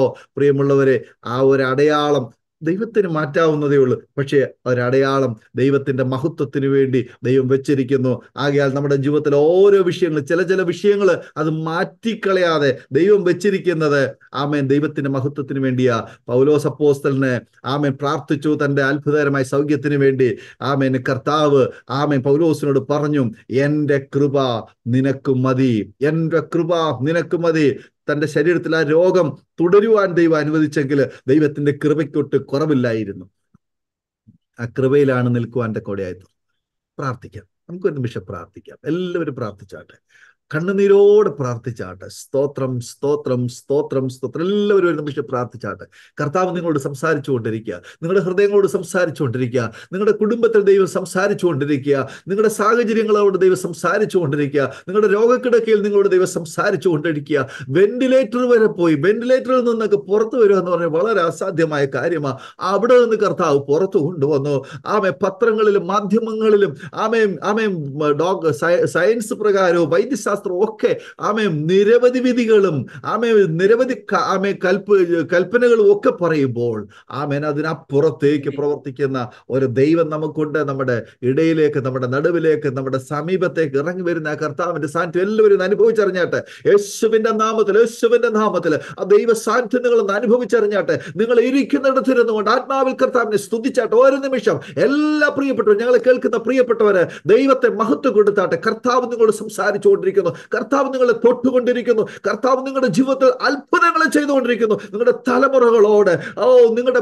പ്രിയപ്പെട്ടവർ നിങ്ങളുടെ പ്രിയപ്പെട്ടവരോട് ആമേ നിങ്ങളുടെ ജോലി മേഖലകളോട് നിങ്ങളുടെ സാമ്പത്തിക വിഷയങ്ങളോട് നിങ്ങളുടെ ബിസിനസ് മേഖലയിൽ നിങ്ങളുടെ സഭയിൽ നിങ്ങളുടെ പ്രവർത്തന മേഖലകളിൽ ആമേൻ ദൈവം വലിയ ഒരു ആമേൻ ആമേൻ ഒരു ഒരു ഓപ്പണിംഗ് തരുന്നു. വലിയൊരു ഡെലിവറൻസ് തരുന്നു. വലിയൊരു ഹീലിംഗ് തരുന്നു. കുഞ്ഞുങ്ങൾക്ക് ആമേൻ ദൈവം ഒരു അത്ഭുതകരമായി വിടുതൽ കൊടുക്കുന്നു. അവർക്ക് നല്ല ഭാവി ദൈവം കൊടുക്കുന്നു. ദൈവസ്ഥലം നിങ്ങൾ പ്രാർത്ഥിച്ചാട്ടെ രോഗസൗഖ്യം തരുന്നത് ദൈവത്തിന്റെ മഹത്വത്തിന് വേണ്ടിയിട്ടാണ്. ദൈവരാജ്യത്തിന്റെ പ്രവൃത്തിക്ക് വേണ്ടിയിട്ടാണ്. കർത്താവിന്റെ മുൻപാകെ വന്ന് ഫലമേൽപ്പിച്ച് പ്രാർത്ഥിക്കാം. ആമേ ഞങ്ങളെ കേൾക്കുന്ന അനേക പ്രിയപ്പെട്ടവര് പ്രാർത്ഥനയ്ക്കായി അപേക്ഷിക്കാറുണ്ട്. തലമുറകളില്ലാതെ ആമെ കണ്ണുനീരോടെ പ്രാർത്ഥിക്കുന്ന പ്രിയപ്പെട്ടവരുണ്ട്. ആമെ തലമുറകളെ തരുവാൻ ദൈവം വിശ്വസ്തനാണ്. കാൻസർ പോലെയുള്ള രോഗ രോഗികളായിരിക്കുന്ന പ്രിയപ്പെട്ടവരുണ്ട്. കർത്താവ് അവരുടെ അത്ഭുത സൗഖ്യം കൊടുക്കാൻ ദൈവം വിശ്വസ്തനാണ്. ആമെ മരണത്തിന് ദിവസങ്ങൾ നിശ്ചയിച്ച് വിധി എഴുതി കിടക്കപ്പെട്ടിരിക്കുന്ന. പ്രിയപ്പെട്ടവർ ഈ ശബ്ദം ഞങ്ങളെ കേൾക്കുമ്പോൾ നിങ്ങൾ വിശ്വസിച്ച് പ്രാർത്ഥിക്കൂ. കർത്താവ് നിങ്ങളെ സ്പർശിക്കുന്നത് നിങ്ങൾ അനുഭവിച്ചറിയൂ. ദൈവസ്ഥ തീരുമാനമെടുക്കൂ. കരങ്ങൾ ഉയർത്തി കർത്താവിന്റെ മുൻപാകെ ആമൻ ഒന്ന് സമർപ്പിക്കൂ. പ്രാർത്ഥിക്കൂ. ഹാലലൂയ ഹാലലൂയ ഹാലലൂയ നാം ഒരുമിച്ച് സ്തോത്രം ചെയ്ത് പ്രാർത്ഥിക്കുമ്പോൾ കർത്താവിന്റെ ദാസി ഡോളി രാജൻ ആമൻ ഈ സമയത്തെ പ്രിയപ്പെട്ടവർക്ക് വേണ്ടി ഒരു നിമിഷം പ്രാർത്ഥന നമ്മെ സഹായിക്കും. സ്തോത്രം സ്തോത്രം സ്തോത്രം സ്തോത്രം സ്തോത്രം. വാക്തത്വങ്ങളെ വിശ്വസ്തനായ സർവശക്തനായ ദൈവമേ നല്ല പകൽക്കാലത്തിനായ സ്തോത്രം ചെയ്യുകയാണ് കർത്താവെ. ഈ സൂം പ്ലാറ്റ്ഫോമിൽ കർത്താവെ എന്ന് കേൾക്കുന്ന എല്ലാ ദൈവമക്കൾക്കെയും ദേദാസന്മാരെയും കുടുംബങ്ങളെയും ഓർത്ത് പ്രാർത്ഥിക്കുന്നു നാഥ. യേശപ്പച്ച സ്തോത്രം സ്തോത്രം. ഇത്രത്തോളം കർത്താവെ സാക്ഷി പറയുവാനും കേൾക്കുവാൻ ദൈവത്തെ സഹജനത്തെ സഹായിച്ചുവല്ലോ. ദൈവീയ കൃപകൾക്കായി വിശ്വസ്തയ്ക്കായി സ്തോത്രം നാഥ. എന്നെ ജ്യോത്സമായി ഇതുവരെ നടത്തിയ സർവശക്തനായ ദൈവമേ അങ്ങനെ നന്ദിയോട് നന്ദിയോട് നന്ദിയോട് സ്തോത്രം ചെയ്യുന്നതാ എന്നെ കേൾക്കുന്ന പ്രിയപ്പെട്ടവർ നാഥ വിവിധ പ്രശ്നങ്ങൾ ദുഃഖങ്ങൾ പാഠങ്ങൾ പ്രശ്നങ്ങൾ എന്ത് ചെയ്യണമെന്ന് അറിയാത്തവരായി കർത്താവെ കേൾക്കുന്ന വ്യക്തി ജീവിതങ്ങളോട് കർത്താവെ അങ്ങ് ഇടപെട്ടു. ഞാൻ പൂർണമായി വിശ്വസിക്കുകയാണ് കർത്താവെ. അങ്ങടെ ആത്മാവിനെ അയച്ച് കർത്താവ് ഇന്നർ ഹീലിംഗ് കർത്താവ് കൊടുക്കുവാൻ അങ്ങയുടെ നാമ ത്തിൽ പ്രാർത്ഥിക്കുകയാണ്. ഹാലേ ലൂയ കർത്താവ് സ്തോത്രം. കുഞ്ഞുങ്ങളിൽ നിന്ന് ഭാരപ്പെടുന്നവർ ആരും കുടുംബങ്ങൾ കേൾക്കുന്നുണ്ടെങ്കിൽ ആത്മാവെ എന്നിൽ വിടിവിച്ച ദൈവിക ശക്തി ഇല്ലാത്തതിന് ഉള്ളതുപോലെ വിളിച്ചു വരുത്തി ആ ദൈവിക ശക്തി ആ കുടുംബത്തിൽ അയച്ച് അവരെ വിടിവിക്കുവാൻ അങ്ങനെ നാമത്തിൽ പ്രാർത്ഥിക്കുകയാണ് കർത്താവെ. സ്വർഗത്തിലും ഭൂമിയിലും നാഥനായ യേശു ക്രിസ്തുവിന്റെ നാമത്തിലും കർത്താവെ സ്തോത്രം. എല്ലാത്തിനും ഉള്ളതുപോലെ വിളിച്ചു വരുത്തുന്ന ആത്മാവിന്റെ ശക്തി ഇവിടെ കർത്താവെ കുടുംബത്തിൽ ക്രിയ ചെയ്ത് കർത്താവെ തലമുറകളെ കാണുവാൻ. അവരും ഇതുപോലെ സാക്ഷ്യം പറയത്തക്ക രീതിയിലും ഒരത്ഭുതം കർത്താവ് ചെയ്യുവാൻ പ്രാർത്ഥിക്കുന്നു. കർത്താവെ അസാധ്യമായ രോഗങ്ങൾ ആരെങ്കിലും കഴിയുന്നുണ്ടെങ്കിലും കർത്താവെ വൈദ്യശാസ്ത്രം കൈവിട്ടതും കർത്താവെ കർത്താവെ മരുന്ന് ഉപയോഗം ആകാത്തതുമായ ഏതെങ്കിലും വ്യക്തി ജീവിതങ്ങളിൽ കേൾക്കുന്നുണ്ടെങ്കിൽ എന്നിൽ പ്രവർത്തിച്ച ദൈവിക ശക്തി ആ വ്യക്തിയിൽ ആ കുടുംബത്തിൽ വ്യാപരിക്കുവാൻ അങ്ങനെ നാമത്തിൽ പ്രാർത്ഥിക്കുകയാണ്. അങ്ങേ തൊട്ടറും അങ്ങ് തൊട്ടവരെല്ലാം സൗഖ്യമായെങ്കിൽ യഹോ വറാഫ ഞാനാകുന്ന ഞാൻ ആകുന്ന അറിയിച്ചെന്ന ദൈവത്തിന്റെ ശക്തി ഇന്ന് പകൽക്കാലം ആ രോഗശയയിൽ കർത്താവെ തൊടുവാൻ പ്രാർത്ഥിക്കുകയാണ്. അവർ എഴുന്നേറ്റിരുന്ന ദൈവത്തെ മഹത്വീകരിക്കുവാൻ സാക്ഷിക്കുവാൻ തക്കവണ്ണം പരിശുദ്ധാത്മാവിടെ വരുത്തുവാൻ പ്രാർത്ഥിക്കുന്ന കർത്താവെ. നഷ്ടപ്പെട്ടവരായി. കർത്താവ് തിരുനാമ നിമിത്തമോ കർത്താവ് ആരെങ്കിലും എന്തെങ്കിലും നഷ്ടപ്പെട്ടവരെ കേൾക്കുന്നുണ്ടെങ്കിൽ മടക്കി തരുന്ന ദൈവം അനുഗ്രഹിക്കുന്ന ദൈവമേ. ഹാന്റെ ദൈവമാകിയ സ്തോത്രം. വചനത്തിൽ എഴുതിയിരിക്കുന്ന പോലെ തന്നെ മടക്കി തരുന്ന ദൈവത്തിന്റെ ശക്തി വ്യാപരിക്കട്ടെ എന്ന് പ്രാർത്ഥിക്കുന്നു. യോബിനെ മടക്കി കൊടുത്തു ദാവീദിനെ മടക്കി കൊടുത്തു. പത്രോസിനെ പടന്ന് നൂറ് മടങ്ങ് ഈ ലോകത്തിലും വരുവാനുള്ളത് നിത്യജീവനം കൊടുക്കുമെന്ന് അറിയിച്ചത് ദൈവത്മാവിന്റെ ശക്തി. ആ വ്യക്തികളെ കുടുംബങ്ങളിൽ കർത്താവ് നാമത്തിൽ കൽപ്പിച്ച് അനുഗ്രഹിച്ച് പ്രാർത്ഥിക്കുകയാണ് കർത്താവ്. കർത്താവെ ഇൻ പകൽക്കാലം നാഥ സ്തോത്രം സ്തോത്രം. വലിയ വിടുതലേക്ക് ജനത്തെ നയിക്കുമാറകണമേ. അത്ഭുതങ്ങളൊക്കെ ജീവിതത്തെ ജനത്തെ നടത്തുമാറകണമേ. പ്രാർത്ഥിക്കുകയാണ്. പ്രാർത്ഥനയും ആരാധനയും ദൈവിക വിശ്വാസം കുറഞ്ഞുകൊണ്ടിരിക്കുന്ന ഈ കാലയളവിൽ ഒരു കൂട്ടം ആത്മാക്കളെ കർത്താവ് ജനങ്ങളെ അങ്ങ് വാർത്തെടുക്കുവാൻ അങ്ങയുടെ നാമത്തിൽ പ്രാർത്ഥിക്കുകയാണ്. ജീവനുള്ള ദിവസം ജീവനുള്ള സാക്ഷിയാൽ നിൽക്കുവാൻ കർത്താവ് അനുഗ്രഹിക്കുവാൻ അങ്ങനെ നാമത്തിൽ പ്രാർത്ഥിക്കുന്നു. വിശേഷാൽ കർത്താവെ ഡാനിയൽ പാസനായി കുടുംബത്തിനായി ശുശ്രൂഷകൾക്കായി പ്രാർത്ഥിക്കാൻ തന്നിൽ കൊടുത്തിരിക്കുന്ന കർത്താവെ വലിയൊരു ഭാരത്തിനായി അങ്ങനെ സ്തോത്രം സ്തോത്രം ചെയ്യുകയാണ് കർത്താവേ. ഹാലേലുയ അനേകർക്ക് കുടുംബങ്ങൾക്ക് പ്രയോജനമാകുവാൻ അനേകർക്ക് ശുശ്രൂഷകൾക്ക് അത് പ്രയോജനമാകുവാൻ ഈ ഒരിക്കലും നീ അനുഗ്രഹിക്കുവാൻ കർത്താവേ. ദാസൻ സമയം ചെലവഴിക്കുന്ന സമയങ്ങളൊക്കെയും അല്ലത് അനുഗ്രഹത്തിന് കാരണമാക്കുവാൻ പ്രാർത്ഥിക്കുന്നു.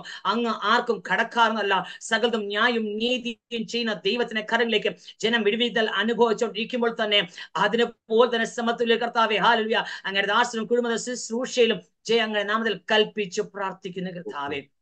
പകൽക്കാലം തന്നിരിക്കുന്ന നല്ല കൂട്ടായ്മയ്ക്കായി സ്തോത്രം. എന്നെ എന്നെ പ്രാപ്തിയാക്കിയല്ലോ. എന്നെയും യോഗ്യയുള്ളവളാക്കി തീർത്തിയല്ലോ നാഥാ സ്തോത്രം സ്തോത്രം സ്തോത്രം. ദൈവിക വിശ്വസിക്കാൻ നന്ദിയോട് നന്ദിയോട് നന്ദിയോട് സ്തോത്രം ചെയ്യുന്നു. കർത്താവടികളുടെ പ്രാർത്ഥനകളും യാച്ചനും കേട്ടതിനായി സ്തോത്രം. ക്രിസ്തേശു നാമത്തിൽ തന്നെ. ആമേൻ. ആമേൻ ആമേൻ ആമേൻ ആമേൻ താങ്ക് യു കർത്താവിന്റെ ദാസി സിസ്റ്റർ ഡോളി രാജൻ.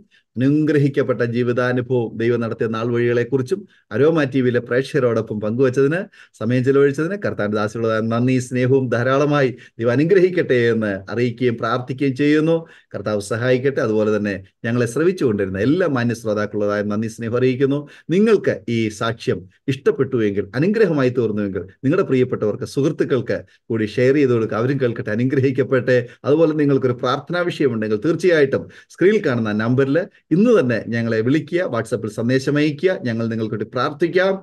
ആമേൻ. ദൈവം നമ്മെ ഒരുമിച്ച് അനുഗ്രഹിക്കട്ടെ. വീണ്ടും നമുക്ക് അടുത്ത ഒരു പ്രിയപ്പെട്ട സാക്ഷ്യവുമായി കാണും വരെയും കേൾക്കും വരെയും എല്ലാവർക്കും good bye. God bless you all. ഓർമ്മയുടെ മനോരഥത്തിൽ മായാത്ത ഓർമ്മയ്ക്കായി അരോമ മാട്രിമോണിയിൽ നിന്നും ജീവിത പങ്കാളിയെ കണ്ടെത്തും. നിങ്ങൾ ഒരു ക്രിസ്തീയ ജീവിത പങ്കാളിയെ അന്വേഷിക്കുകയാണോ? അതോ മക്കൾക്ക് അനുയോജ്യമായ ഒരു തക്ക തുണയ്ക്ക് വേണ്ടി പ്രാർത്ഥിക്കുന്ന വ്യക്തിയാണ്. എങ്കിൽ അരോമ മാട്രിമോണി നിങ്ങൾക്ക് വേണ്ടിയാണ്. ഇന്നു തന്നെ സൗജന്യമായി രജിസ്റ്റർ ചെയ്യൂ. അരോമ മാട്രിമോണിയുടെ പ്രത്യേകതകൾ. രജിസ്ട്രേഷൻ തികച്ചും സൗജന്യം. ലോകത്തെവിടെയുമുള്ള അനുയോജ്യമായ ക്രിസ്തീയ ജീവിത പങ്കാളിയെ തിരഞ്ഞെടുക്കാം. വിവാഹം നടക്കുന്നതുവരെ സർവീസ് ലഭിക്കുന്നു. ഏറ്റവും ചെറിയ പാക്കേജുകളും തിരഞ്ഞെടുക്കാം. അരോമ മാട്രിമോണി നിങ്ങൾക്കായി ഒരുക്കുന്നു വിവാഹം പരമാനന്ദം. Email aroma matrimony twenty twenty at Gmail dot com